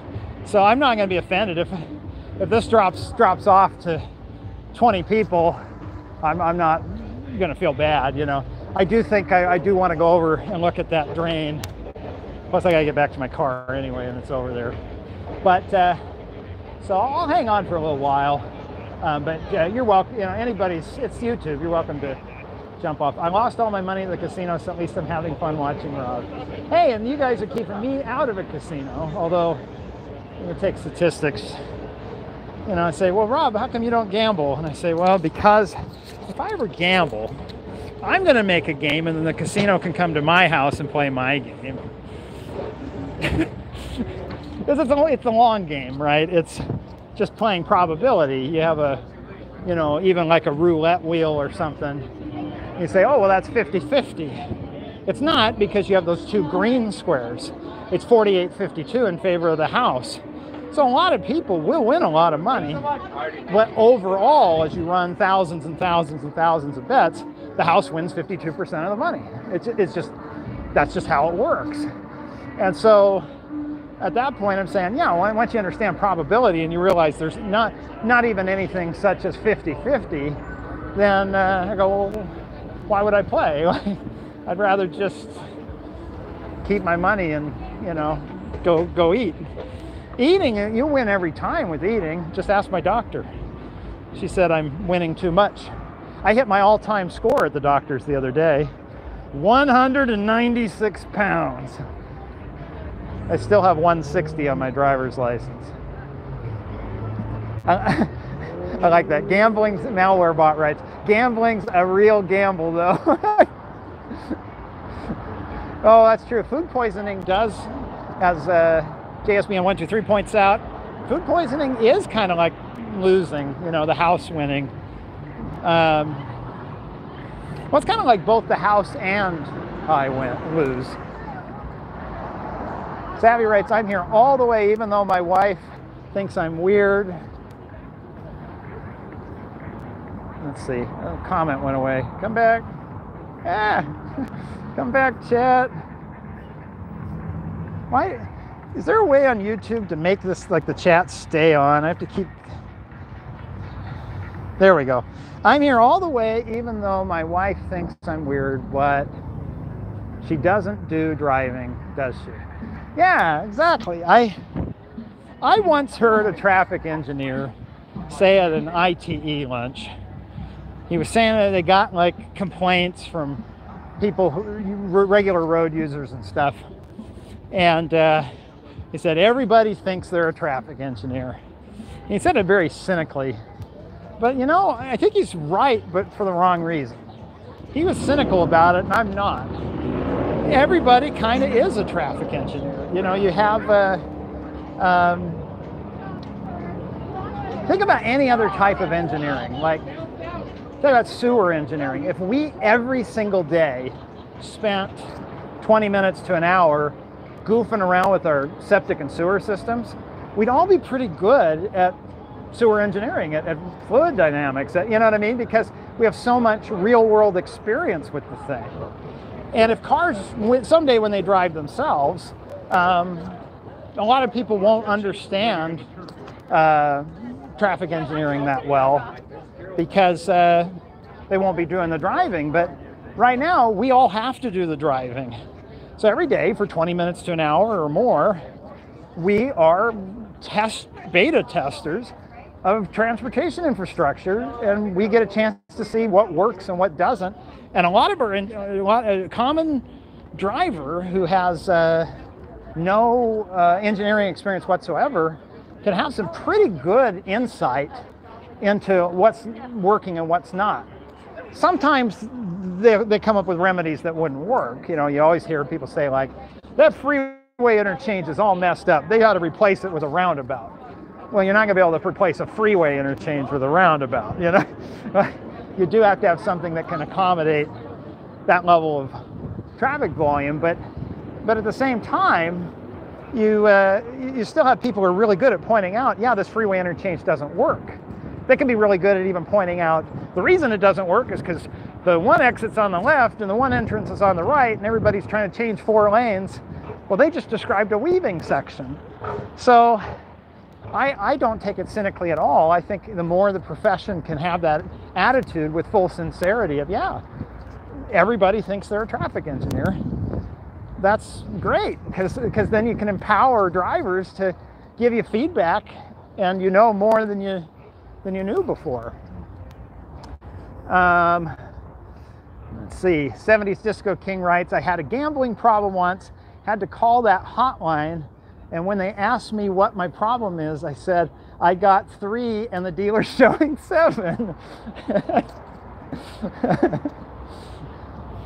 Let's see. I love Botts' Dots. Will you do a video about the Interstate 84 and 91 interchange in Hartford? Oh, yeah, I'm trying to think. I Hartford. I just remember, I can't remember that interchange specifically because I, I did get to drive it last January, uh, a year ago. All I remember is that whatever it was, it worked, but it had a lot of, well, what we were just describing of like, well, this exit's on the left, but this one's on the right, and a lot of fast lane changing, or I think once I missed, excuse me, missed my ramp. Is there something in, in particular, if you don't mind replying in the chat, what it is, I'll add it to the pin if I I have a cousin who lives in near Hartford, so I may get back out there again. Um, I recommend Interstate 66 express lanes uh, for those of you near DC. Is there something, yeah, express lanes in general are quite interesting because of, well, you can, there's like only so wide you can make a freeway before you have so many lane changes that people, uh, everybody's braking to accommodate everybody's lane change and then it like cancels out the wide freeway. And so the express lanes are cool because one, you can separate them off so they're like their own different freeways so you can get another lane or two. They pay for themselves supposedly because instead of having to spend a lot of money replacing bridges and widening the freeway and spend a lot of money with just tax revenue to pay for it, you can make a portion of that be toll revenue to pay it back. And then you can use variable price tolling to keep the lanes moving. So if too many drivers are using those lanes and slowing it down, you can uh, um, you can have uh, uh, the price just incrementally go up to price enough people out to keep them moving. So it's it's a fun tool. Um, is there something in particular about the 66 ones though that you'd, you'd want to point out? If you want to add that, all, all like I say, I'm going to go through all these chats and save it with pins and things. So later, because what what will inevitably happen is I'm going to have this has happened several times. A cousin or somebody say, "Hey, I'm moving. Can you help me? Uh, um, I'm moving. Can you help me?" Um, I'll show you the roller coaster here. I think I hear it. There it is. Where'd it go? Um, anyway, they'll say, "I'm moving, Rob. Can you help me?" Uh, with uh, moving, you know, driving the U-Haul. And I, I love to drive a big truck, so I'll say, sure, because I can bring my camera along and film stories for you while I'm there. So um, what'll happen is uh, it'll be somewhere I won't expect. Like, hey, I'm moving right. to Connecticut. And so if I have that pin board ready to go, I can look on there and say, oh yeah, here are three things people pointed out I had to look at while I'm in Connecticut. And then that gives me the ability to, to do the traveling and can see that. So um, yeah, definitely uh, anything is specific too, you know, not just the project, but if there's something that really bugs you about it or that you really like about it, I, let me know, I'll add it to the pin. See, I definitely love a merch shop. Um, okay, so here's what's going on in the merch shop. Technically, if you go to roadguyrob.com, you can see the beta site that I've been working on. I have a sister who does web design and she's been helping me with it. I'm trying to make it so that if you contribute on Patreon, any amount, the videos are there ad free. So you just sign in with your Patreon, hopefully it'll work, and then watch the videos. If you really enjoy it and don't want to put up with YouTube, it's there. I'll probably even get where I'll post them there a couple days a couple days early.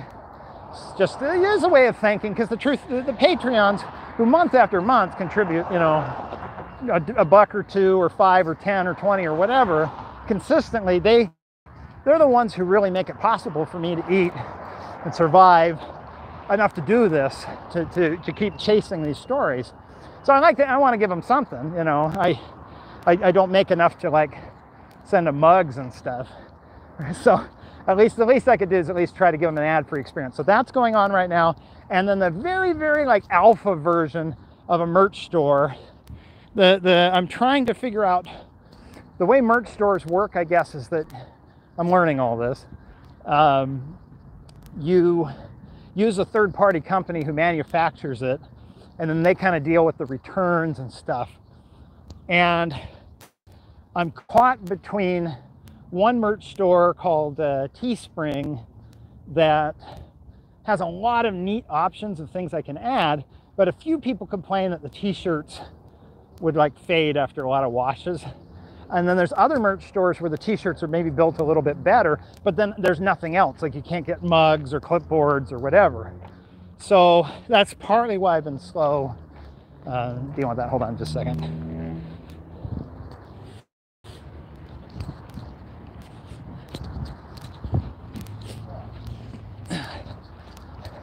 Didn't want to bug the guy who was sleeping.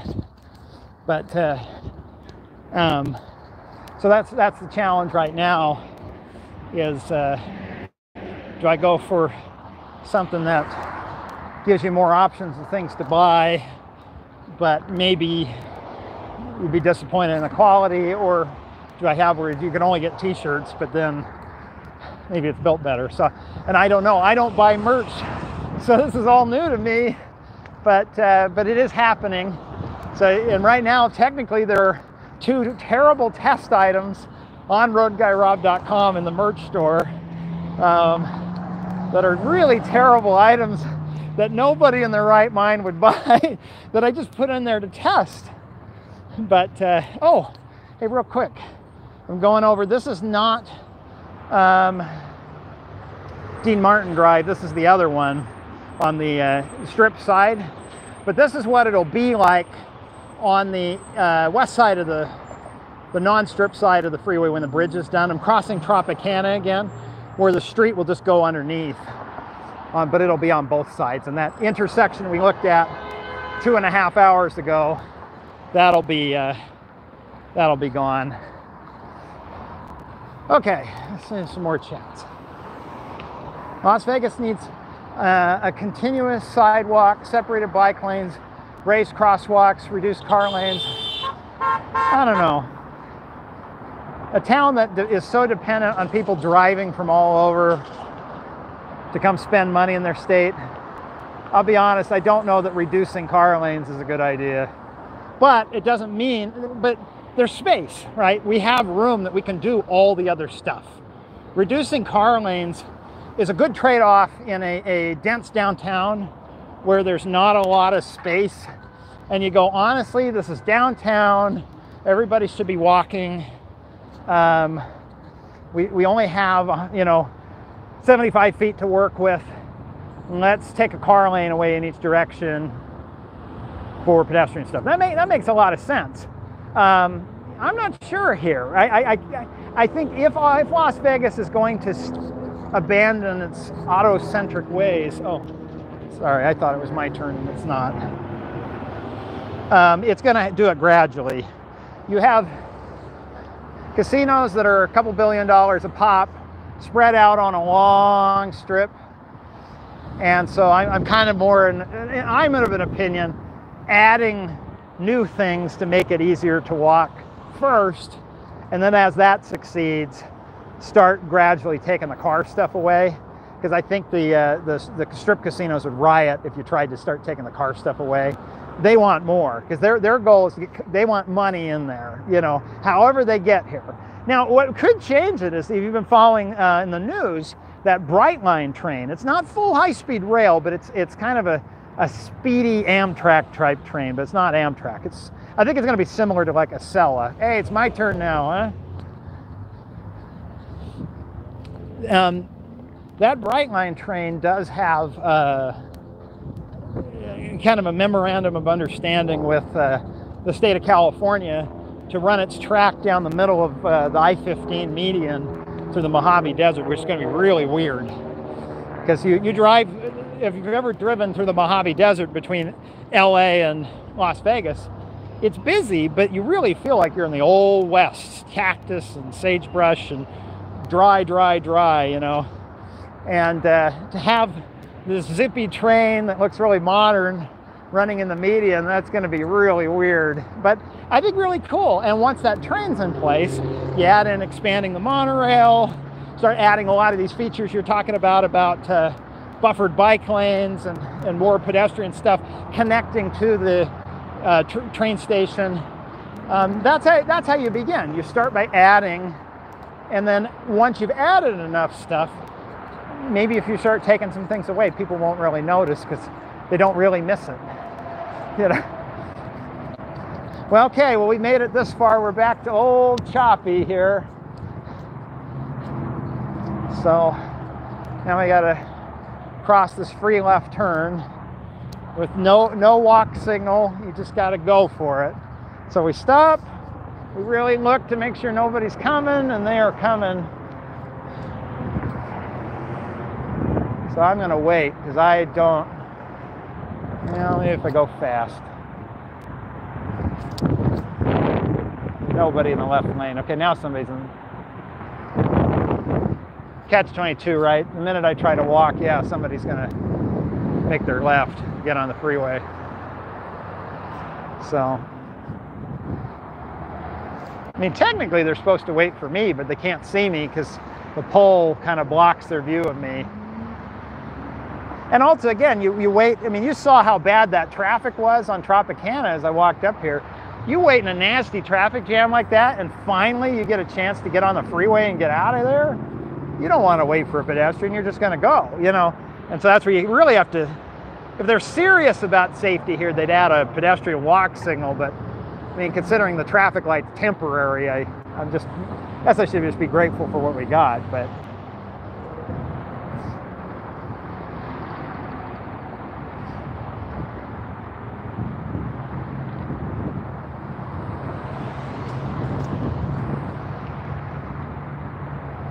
know, somebody sent me an email probably about uh, a couple months ago about a diverging diamond project, a permanent one that was going in in I want to say it's Mississippi.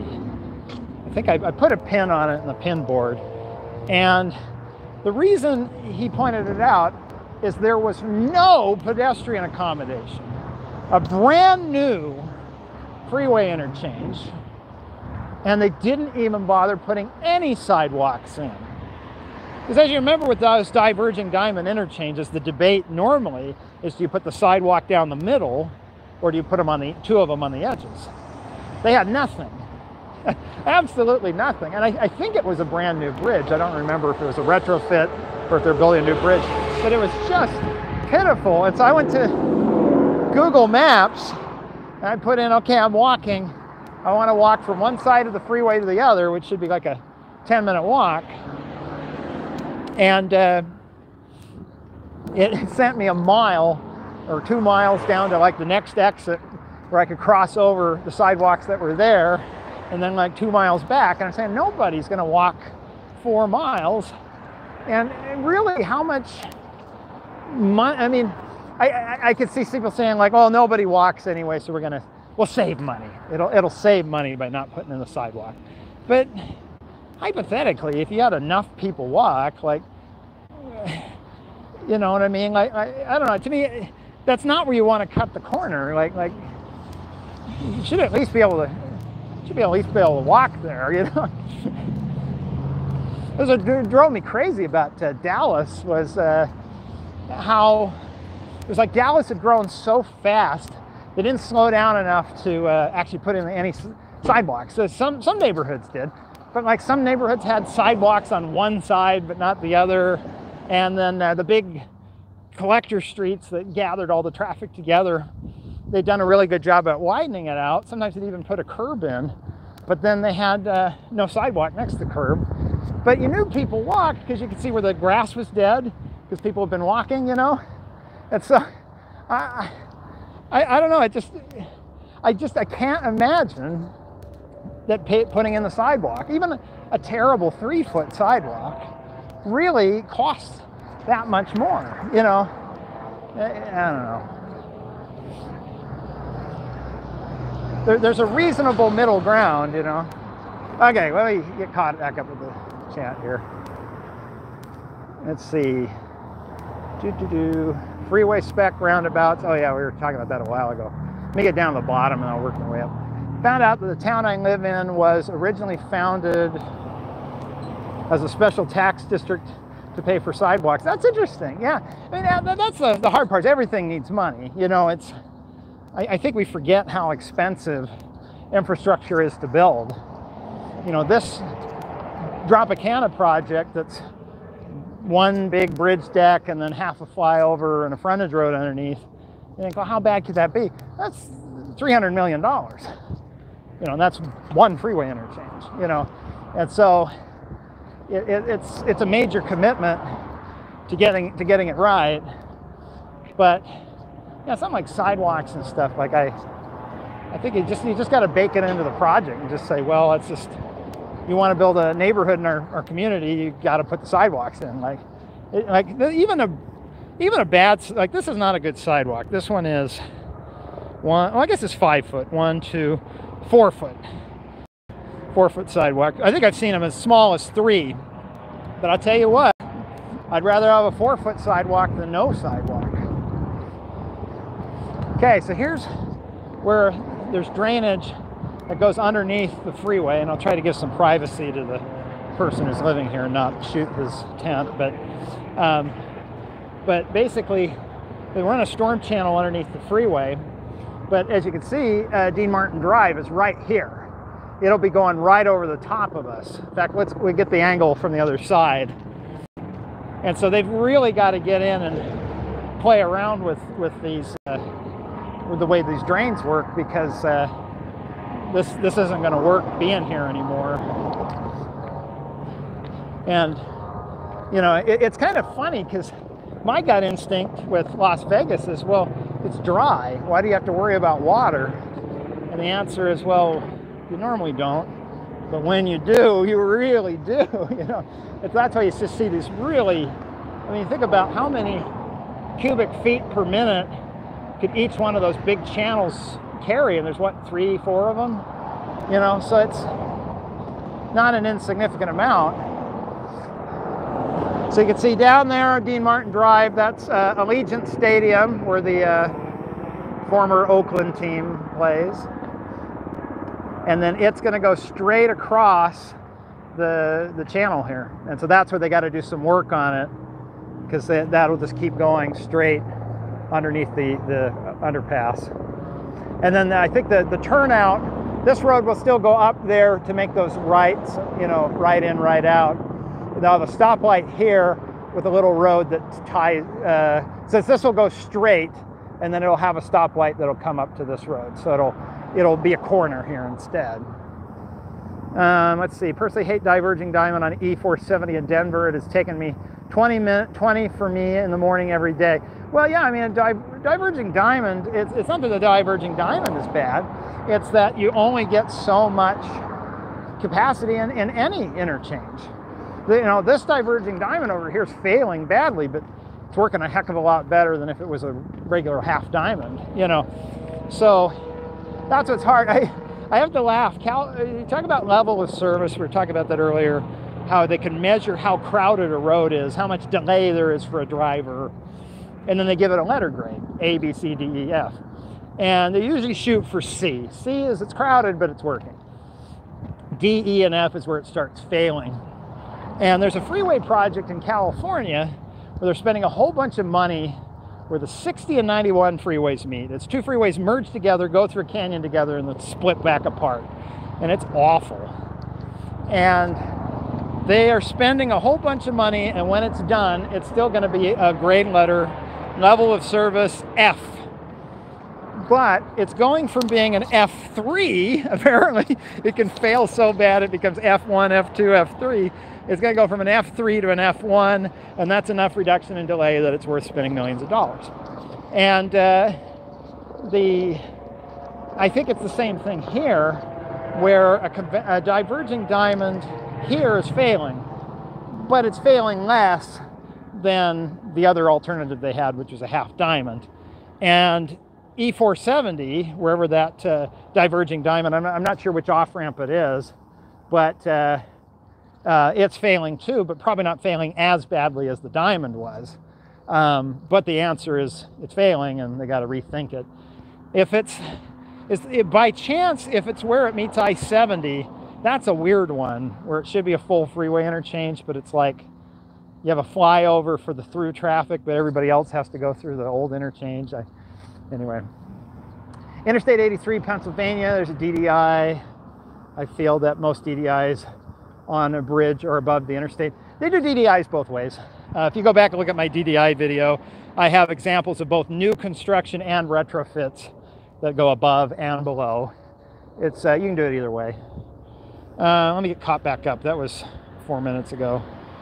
Um, see, sidewalks are safer and boost property value. Bikes are allowed on almost all roads and typically have priority. Sorry, them's the brakes. Um, but there's some always speeds on the highway. Max limit. It looks like you guys were discussing something. I think the key to Cloverleaf interchanges is the radius of the ramps. Uh, the big thing with the, the the big challenge with the Cloverleafs is you have a weaving section. You have four of them. The car enters from the Cloverleaf, and then uh, there's another. Well, I don't know. It's not a. The interchange is a Cloverleaf, so I guess you'd call that round ramp a three-quarter turn ramp. So you have a three-quarter turn ramp coming on the freeway immediately before one that goes off, and so you have a bad weaving section in between those two, and so that's why Cloverleafs kind of went away is because there's what do you do about not just having one weaving section you have four. It's uh, you're creating um, really bad disruption to the flow. And uh, yeah let's see. Um, are you a licensed professional engineer? No. Um, I the goal of everything I'm sharing is something I've learned from a professional engineer. I'm, I'm pointing a camera at it. I have an EIT for whatever that's worth, but you know EITs are tricky to get, but they're not. It's not like getting a PE. Um, but uh, my goal here is it, it's not. I've been a little more fast and loose tonight, with my opinion, because we're just having fun hanging out. But with the videos, I you notice I like document the heck out of those things. I try to put on-screen captions and uh, put show notes with links so that everything I'm saying I can point to either in a person I'm interviewing or some really good engineering manual or document somewhere to demonstrate yes, this is uh, not just my opinion, this is what engineering best practice says we should do and uh, so hopefully that, that makes up for the fact that I'm just a schlub with a camera who uh, doesn't actually have a PE. But uh, let's see. Opinions on congestion pricing? Mixed. congestion pricing is the idea that if you have, we'll get the in and out in the background. Oh, it's beautiful. Look at that. All right. Um, the idea of congestion pricing is that uh, if you have something priced for free, you're more likely to overuse it. And a lot of stuff with cars, it's not that it's free per se, but you don't pay for it as you use it. You pay like like a Netflix model, right? Well, it's a bad example because Netflix has gone downhill. But when Netflix was good, you want to watch Netflix a lot because you're paying $10 either way in the old days, seven, seven ninety-nine. And so whether you watched one show or binged it all month, it was $7.99. The freeway's the same way. You know, we, we have sales tax revenue and gas tax revenue that we're paying for anyway. The more I use the freeway, the, the better value I get for the tax money I, I paid in. And so the problem with that is you end up with this, where you have too many people trying to use something um, at the same time. And so that, that's the thought is like, well, if every single car had to pay some kind of toll every time they use the highway, you could start to control congestion because people really think twice about their commuting patterns and stuff. And they, you know, you kind of it's to your advantage to, to overuse the freeway. So we overuse it to the point where people aren't really getting a benefit out of it because everybody's going so slow. When a freeway slows down, it, it, it's not like, oh, it still moves 2,700 cars an hour, it just does it slowly. It can get to the point where if it's a bad enough jam, it moves nothing. Like it's as bad as no freeway at all. because yes, there's a high volume of cars, but you multiply that by the flow rate, five miles an hour, and all of a sudden you only moved 1,000 cars instead of you know 2,400 or 2,700, whatever that theoretical maximum is.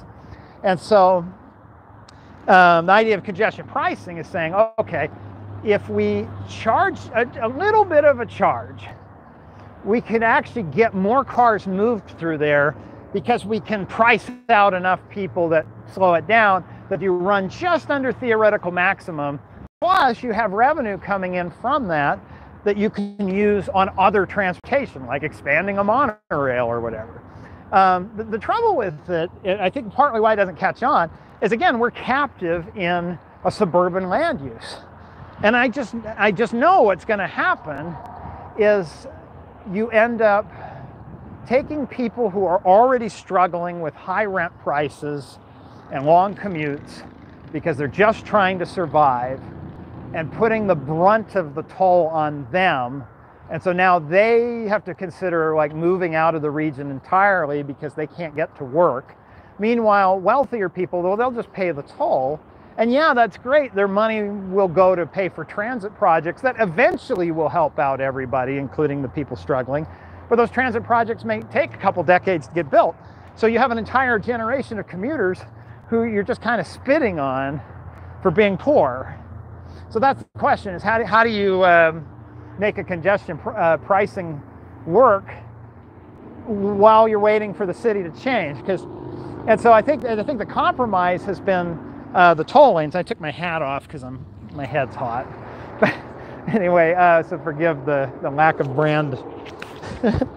but, um, but I think, I think that's the challenge is what do you do? Well, maybe the answer is you do express lanes. So you say, okay, well, we won't toll all of them.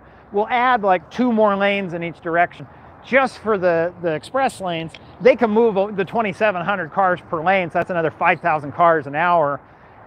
And so you, what you're doing is allowing the rich people to buy their way out of the jam, but that pays for the construction of the new lanes. That makes the general purpose lanes start to loosen up a little bit because there's fewer cars on that. Um, but on the other hand, you spent that money building the express lane, so it's not available for your transit project. So, okay, um, let's see. Uh, uh, does congestion pricing actually reduce emissions?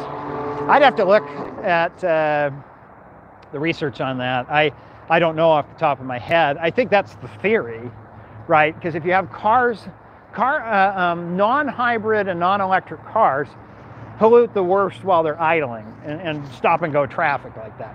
And cars burn incredibly clean uh, when they're cruising along, like, like you set it at a set rate and just cruise.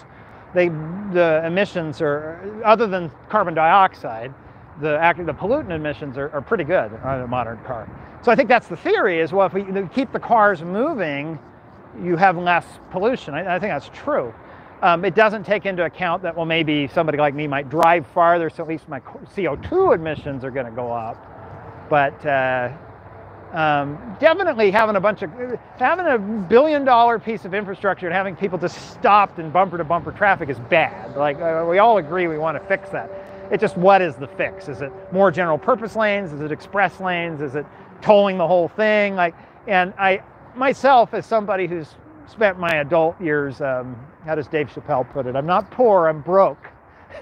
because of the career choices I've made in journalism and radio and stuff, and this. Um, I'm very price sensitive, and I, I, do drive a lot for this work and also, you know, seeing family and things. And so, a major rollout of congestion pricing on like all the freeways would be devastating to me financially the freeways are, a, they subsidize my ability to get work done, even if I have to wait in traffic. And so I hate to lose that subsidy because it damages my ability to get work done.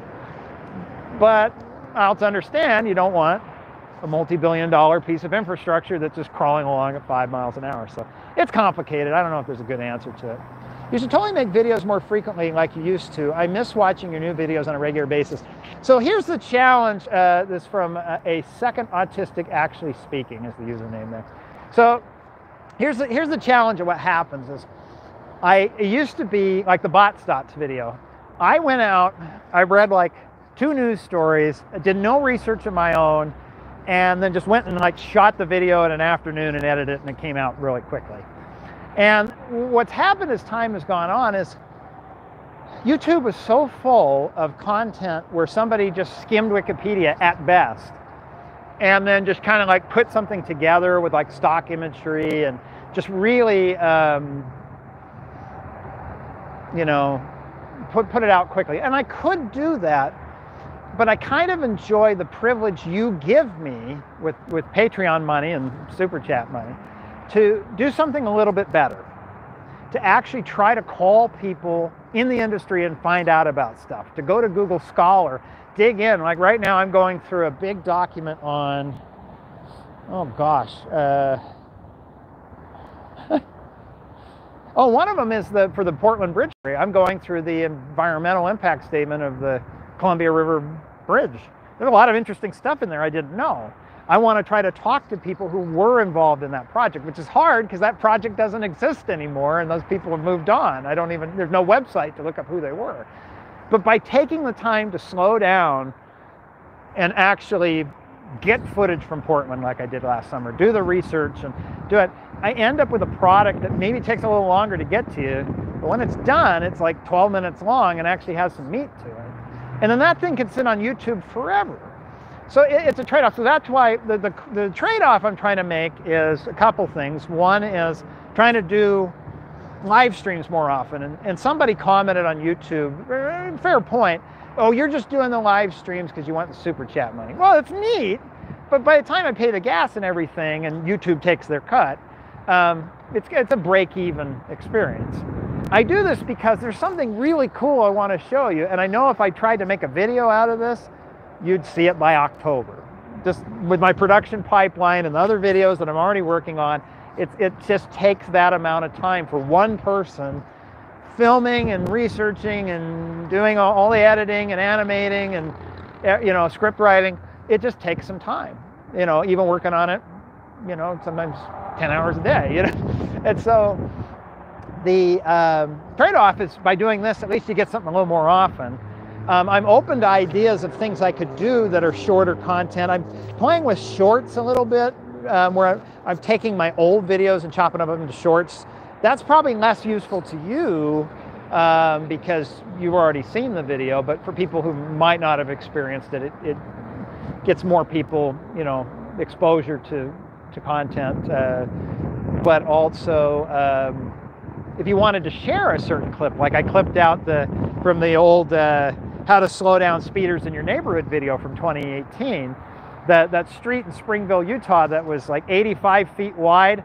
And I took the old brown Lexus and I was doing loop-de-loops and it only took half the street. I clipped that as a short.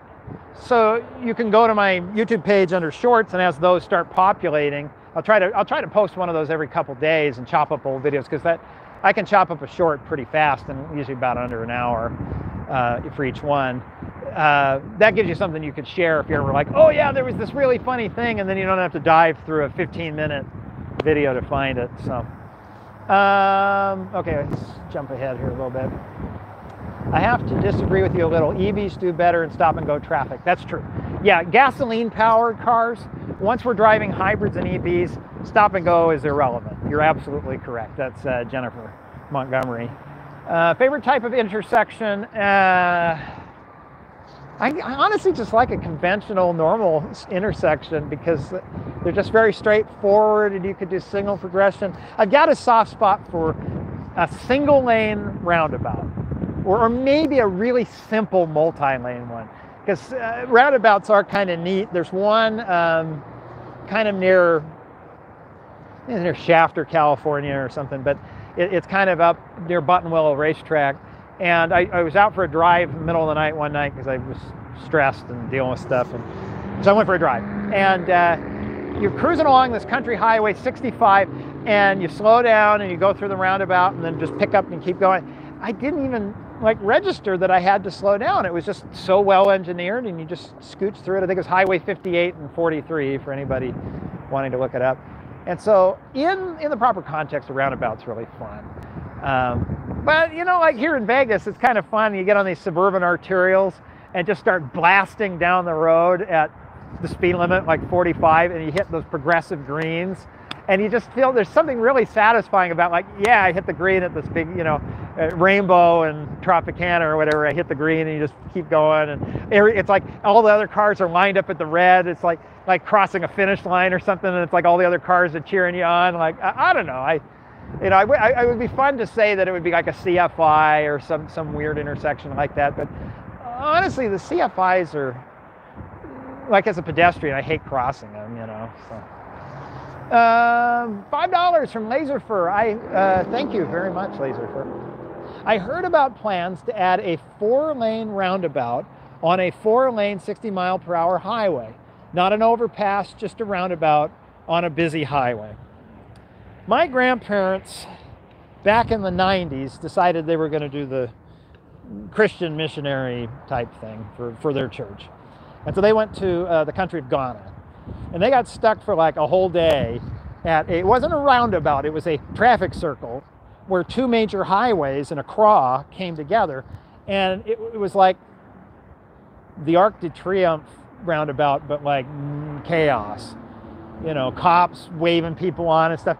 And it's like you would get in that thing and then like you couldn't get back out. And my grandpa was saying like it, it took, you know, 10, 20 minutes like to get around it. And he's trying to get out. And the cop's saying, nope, you can't. Keep it going, keep it going. And I worry a four lane roundabout sure sounds like it's headed in the direction of that uh, Accra traffic circle. Like it just sounds miserable.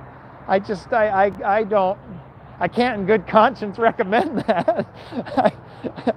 but you know, I like Mesquite, Nevada, down the road here a ways. They they have a freeway exit. If you're following along on Google Maps, it would be the western I-15 exit to Mesquite Boulevard on Interstate 15. And it used to be a diamond interchange that kind of came off and the Mesquite Boulevard kind of parallels like a frontage road sort of and becomes the main street through town a developer came in and added a, a, like a driveway connection right where that road curves coming off that diamond interchange. So you'd have a, a stoplight really close to the, the interchange, and, and, that just wasn't a good design. Just like here, where you wouldn't want Dean Martin Drive connecting right here, it's the same thing in Mesquite, even though it's a smaller town. So rather than swinging it way out of the way, they put in a roundabout right there where the, the ramp drops off. And it has, so it has like five legs kind of. It's got the two for Mesquite Boulevard, the one coming off to get on the freeway, the one coming on to, for the off ramp, and then the, the road coming in for the businesses that were going in. And to make it work better, it acts kind of like a dumbbell where there's another roundabout on the opposite side of the freeway overpass. And then you have like this multi-lane configuration that has places that spin off for ramps and then the two lanes go under the bridge and there's the other one and it, it works pretty well. But I have never successfully, even though I've taken a whole bunch of transportation classes and this is like my wheelhouse, I have never successfully gotten through that roundabout without having to like quickly like dart across a lane with no signal because I thought I was where I was supposed to be and I wasn't. And so I think what happens is I, I, I think I'm in the correct lane and then I come around the roundabout, but then the ramp is there, and it turns out the, the right lane that I thought was going to peel off for Mesquite Boulevard, and then my lane would be the one that would go on the freeway. Well, it turns out it didn't peel off for Mesquite Boulevard. That right turn was referenced to the freeway, not to Mesquite Boulevard. So now I'm in the wrong lane. So I have to just at the last second dart across traffic to to get it. So I don't really like multi-lane roundabouts, and that's just a two-laner. And uh, it's not that NDOT did a bad job or anything. I think they is probably designed reasonably well. I just I just don't like it because it makes me look bad as a driver. Single lane roundabouts though never had a problem. They're fantastic. So anyway, that's that's my thought. But yeah, four lane one, that is what a mess. I no thanks. Um, shorts would be great. Okay, Jennifer. Yeah, I'll, add more shorts. Madeline Fisher with $5. Thank you, Madeline.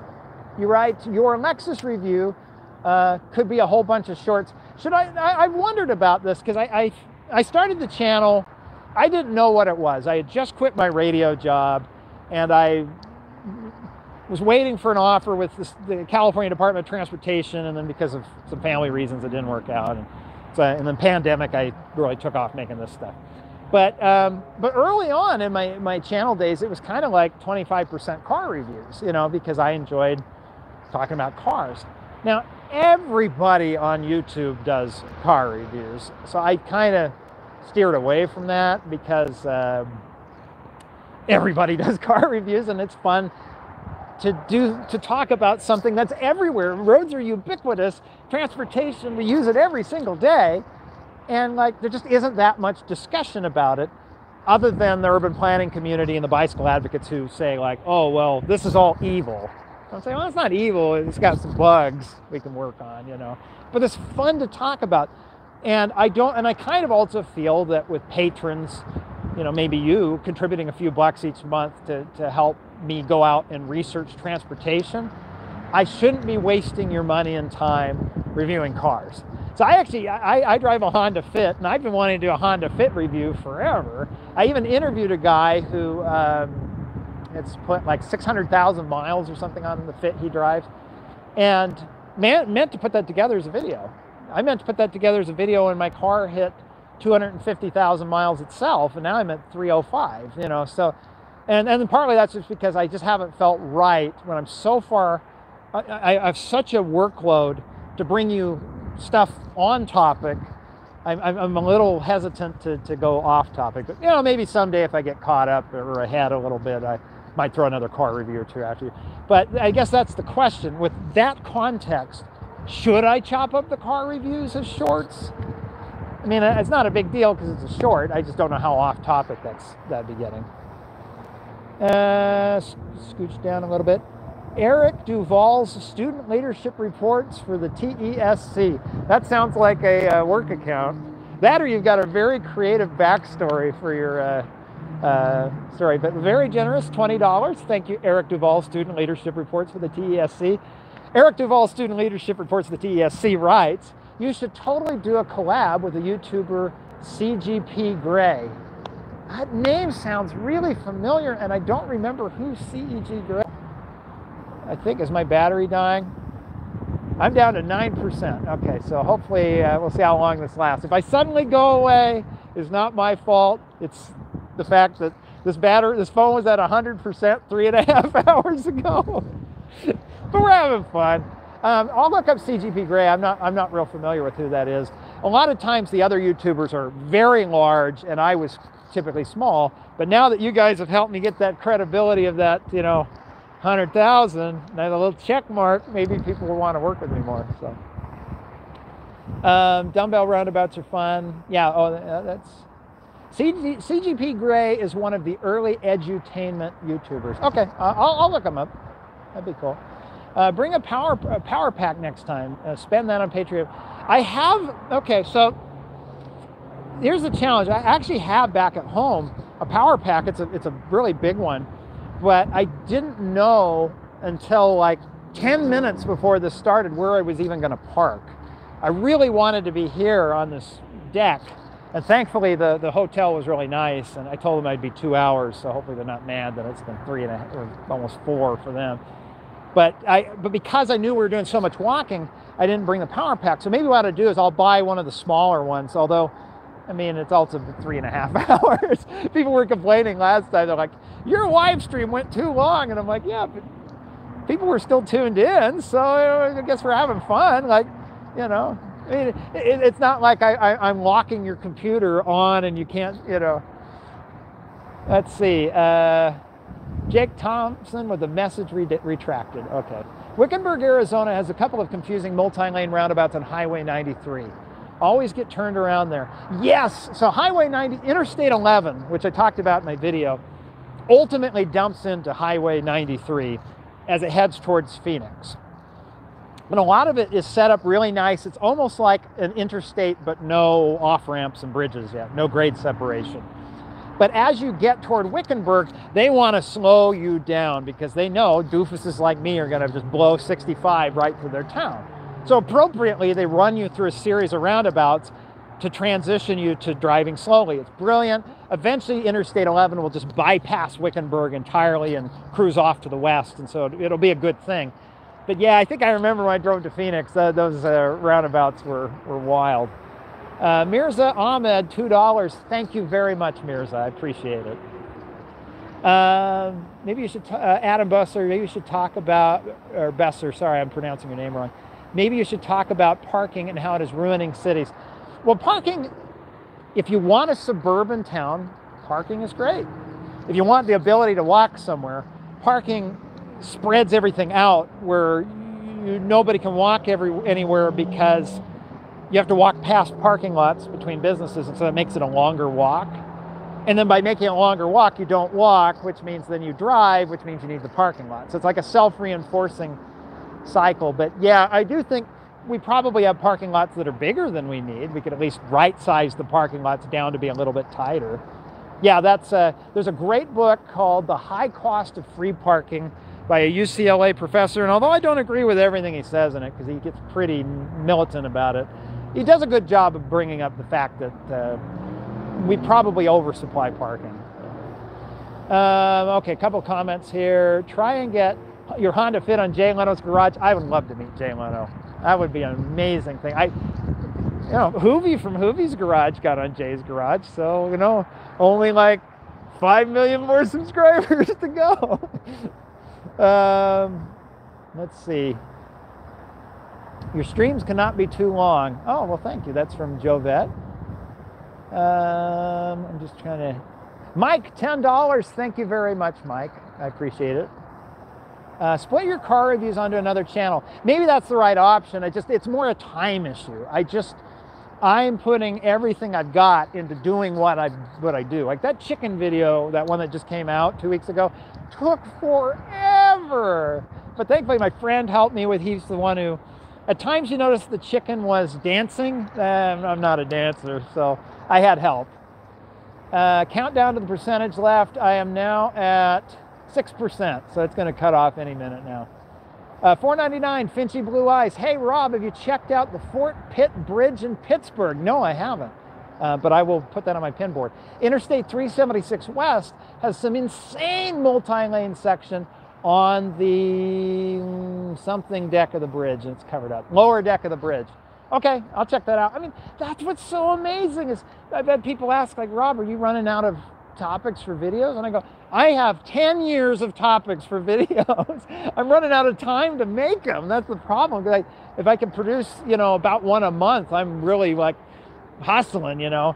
And so that's the fun of these live streams. At least it gives a, an ability to check in more more often. I don't know if it'll be monthly or not. Uh, if you guys want, I might be able to do it monthly, but uh, uh, but uh, you know, a chance to show off more stuff. You know, wish your videos didn't take so long. Love your stuff so nerdy, Rob. That's from Marjolin. Love your work. Oh man, that's great. Uh, it's coming. It's ah, slow down. I can't read it. Sorry about that. My chat was glitching and deleted my comment. No problem, Jake. Uh, Jack Feldman, have you heard about the North Split project in Indy? The I-15, the whole freeway. Okay, I'll check it out. Is that I? Uh, so they're separating it off um, so as a collector distributor off to the side because that that's that'd be kind of neat. I, I, know Toronto famously did that with the 401, um, which is why you get those crazy pictures of like the widest freeway, widest non-Texas freeway in North America. We're at five percent. Um, Rob's news teams. Yeah, I, I need to. I wish I had the resources that I could like send a photographer out. Like, okay, could you go get footage of that? Could you call and book an interview with this person? Could you? um, hey, before your phone dies, good night. That's from I. Allen. Well, well, good night to you and happy St. Patrick's Day. Um, SHRGN. Hey, did you think about maybe videos of highways outside the U.S.? Yes, I've never left the U.S. though. I have a passport. I just, like I say, I got 50 states to work with. I have never left the U.S. in my life other than one time the airplane flew over Ontario, Canada, but you know, it's getting a connection in Detroit. But other than that, I've, I've never touched the ground outside the United States yet. Um, oh, uh, Jack Feldman, no, they rebuilt the whole freeway, is what I mean. Okay, well, still, I'll check that out. Uh, come visit Montreal potholes. Oh, we had a guest speaker I was in graduate school came and spoke to us about a bridge project they were doing in Montreal and the rust. Oh my gosh, Montreal. Uh, can transit demand keep up with car demand? Um, I would love to see transit be free. If people overuse cars because it's uh, the freeway's free, why don't we make transit free and give it a shot and see what happens? Alex Hine, could you do a video about frontage roads and how and where they came to be? Um, yeah, I can. It would be fun to do it with the Texas ones. In particular, Texas, they're required by the state constitution to provide um, access to the land that's next to the highway, so they had to put the frontage roads in because they didn't want to be connecting driveways to the freeway itself. Uh, five minutes left, Bill Bill Burr. That was one of the best insult compliments I ever got. Somebody called me a budget Bill Burr. Uh, Colby. I wish I could help you with your videos. Well, your moral support alone is enough. Because otherwise, you would be like the old days where I'd be talking about roads to uh, myself or my poor dad. Um, Jennifer Montgomery, $5. Thanks again, Jennifer. Not Just Bikes would be a great creator to collaborate with. He talks a lot about city streets and city planning in the Netherlands versus Canada. The trouble is, I think I got him mad at me. Sort of. So we'll find out. Um, Nick Muffins, $10. Possible future collab with B1M. B1M's videos are amazing. How does he afford to do such amazing videos? I'd love to. I feel like Fred shares your enthusiasm for construction. Good night, Rob. Tacos! uh, Montreal potholes, collabs, motor coach world, not just bikes, hates car infrastructure unconditionally. Uh, sorry, I'm going so fast, but the battery's about to die. VP2, VPR2B999, thank you very much. And I like that reel-to-reel uh, icon there. Thanks for the awesome stream. You are welcome. I once uh, saved a Studer reel-to-reel machine one time, but that's another story for another time. David McDonald with $2 Australian. Oh, thank you, mate. Uh, thanks for your time today. It's been great. Well, have a, enjoy your Saturday. Uh, Analysis 101, $10. Thank you so much. Uh, writes, I, I, uh, I like that you focus a lot on the transportation of the Western U.S. Seems like a lot of transportation YouTubers focus on the East Coast a lot and like your videos. Well, it's I focus on the West because it's where I live. And, uh, you know, I, I, also wanted to focus on the heartland of the country because there's a lot of neat research in places like Nebraska that uh, kind of get overlooked because uh, a lot of the media is very focused on the coast because that's where people live. Okay, I think I've caught up with the super chats. We've got uh, how many percentages left? 3%. Let's keep it going. um, Nebraska here, Joe Vet. Battery check 3%. Uh, if you're curious, Jack. Probably more focusing on the east since more people are there. It's true. Uh, the, I, I don't understand why so many people live back east. The weather's nicer out here. but it used to be, you know, 50 years ago, people moved out west because it was affordable. And I'll tell you what, I now have a sister who moved to Arkansas because it was cheaper. I have a cousin who moved to Connecticut because it was cheaper. so I'm starting to, uh, uh, my friend uh, Danny who moved to rural outside of Roanoke, Virginia because it was cheaper. Um, friends have moved to Florida, uh, not necessarily cheaper though. Um, so it is kind of a, a moment where after two centuries everybody's saying westward ho, now people are turning around being like, eastward ho! um, yikes. Uh, collapses. I enjoyed your vids, uh, very produced. Vids are, thank you very much. It harms your battery to deep charge it below uh, 40%. I know, I'm killing my phone, but it's for a good cause. A video on traffic uh, management displays would be impressive if you could talk to the manufacturer. Yeah, and remind, thanks for the reminder. I'll go before I leave tonight, see if I can get a name off of one of them. That won't, I won't be filming it on this trip because I got to do research first. But love your Phoenix video, says Robbie. Well, thank you. I, I, I love that one. I mean, Detour Dan was so great. I, I, wrote to KTAR. I just said, hey, by chance, would Detour Dan want to talk to me about the history of Phoenix freeways? And I didn't hear back for like a week. And then the program director wrote back and she said, absolutely, I'll have him call you. And he was great. I mean, he just, he, he's, he's just, he's got such a great voice, you know, Detour Dan, KTAR traffic, you know, just, but he's, doesn't call it downtown Phoenix, he calls it the downtown. Yeah, because everybody's trying to head to the downtown, you know. I live in Pennsylvania. No hurricanes, mudslides, tornadoes, wildfires, or earthquakes. Only blizzards once in a while. My sister, when she was looking at places, considered Western Pennsylvania because of the trees and stuff and uh, railroad derailments. No, I'm sorry. Um, but she, she ended up picking Northwest Arkansas and really likes it. Uh, Ryan Barry, I just want to say I love your videos. My girlfriend had to endure me passing along your knowledge about traffic lights the other day when I saw them making changes. Yay! In your opinion, what's your favorite video you made so far? Oh gosh, I really liked that last one with the chicken and the uh, jay, jaywalking chicken. And that was my friend's idea. He said, "What well, he says uh, I could dress up as a cop and, and give the chicken a jaywalking ticket. And then we got thinking like, we could have the chicken keep getting jaywalking tickets. That was a hoot. Uh, next live stream, make sure you bring a power bank. We'll do, although three hours, 40 minutes, that's pretty good for, a, for this little phone. Uh, Rob, thanks for the field trip. Detour Dan's a legend. I don't even live in Phoenix and I love that video. The signs are made by Daktronics. Okay, thank you. The same people who, when I used to swim, made the swim boards, Daktronics. Uh, battery check, uh, I don't even want to know, 2%. Uh, how are we looking at battery? 2%. I am very late, I assume for this reason. The title's because of the F1 race. No, believe it or not, we made it through nearly four hours and didn't talk once about the fact that Formula One is coming to uh, Las Vegas and they're going to use it as a racetrack. It shows just how pedestrian friendly it is. But I tell you, having all those sky bridges uh, to cross Las Vegas Boulevard is going to be pretty nice that day. Um, what phone model do I use? Samsung A52 because I rely on headphone jack. I don't. I, I buy the S22, but I got to have a headphone jack. They won't give me a headphone jack. I buy the mid-range phone. Thank you again from Aaron of Minneapolis. You're welcome. Thank you, Aaron. Chicken had some moves and they weren't mine. Uh, bye now, says uh, Mr. DeCarby. Well, bye to you and thanks for hanging out. Uh, we're killing our host here. That's okay. I sleep when I'm dead.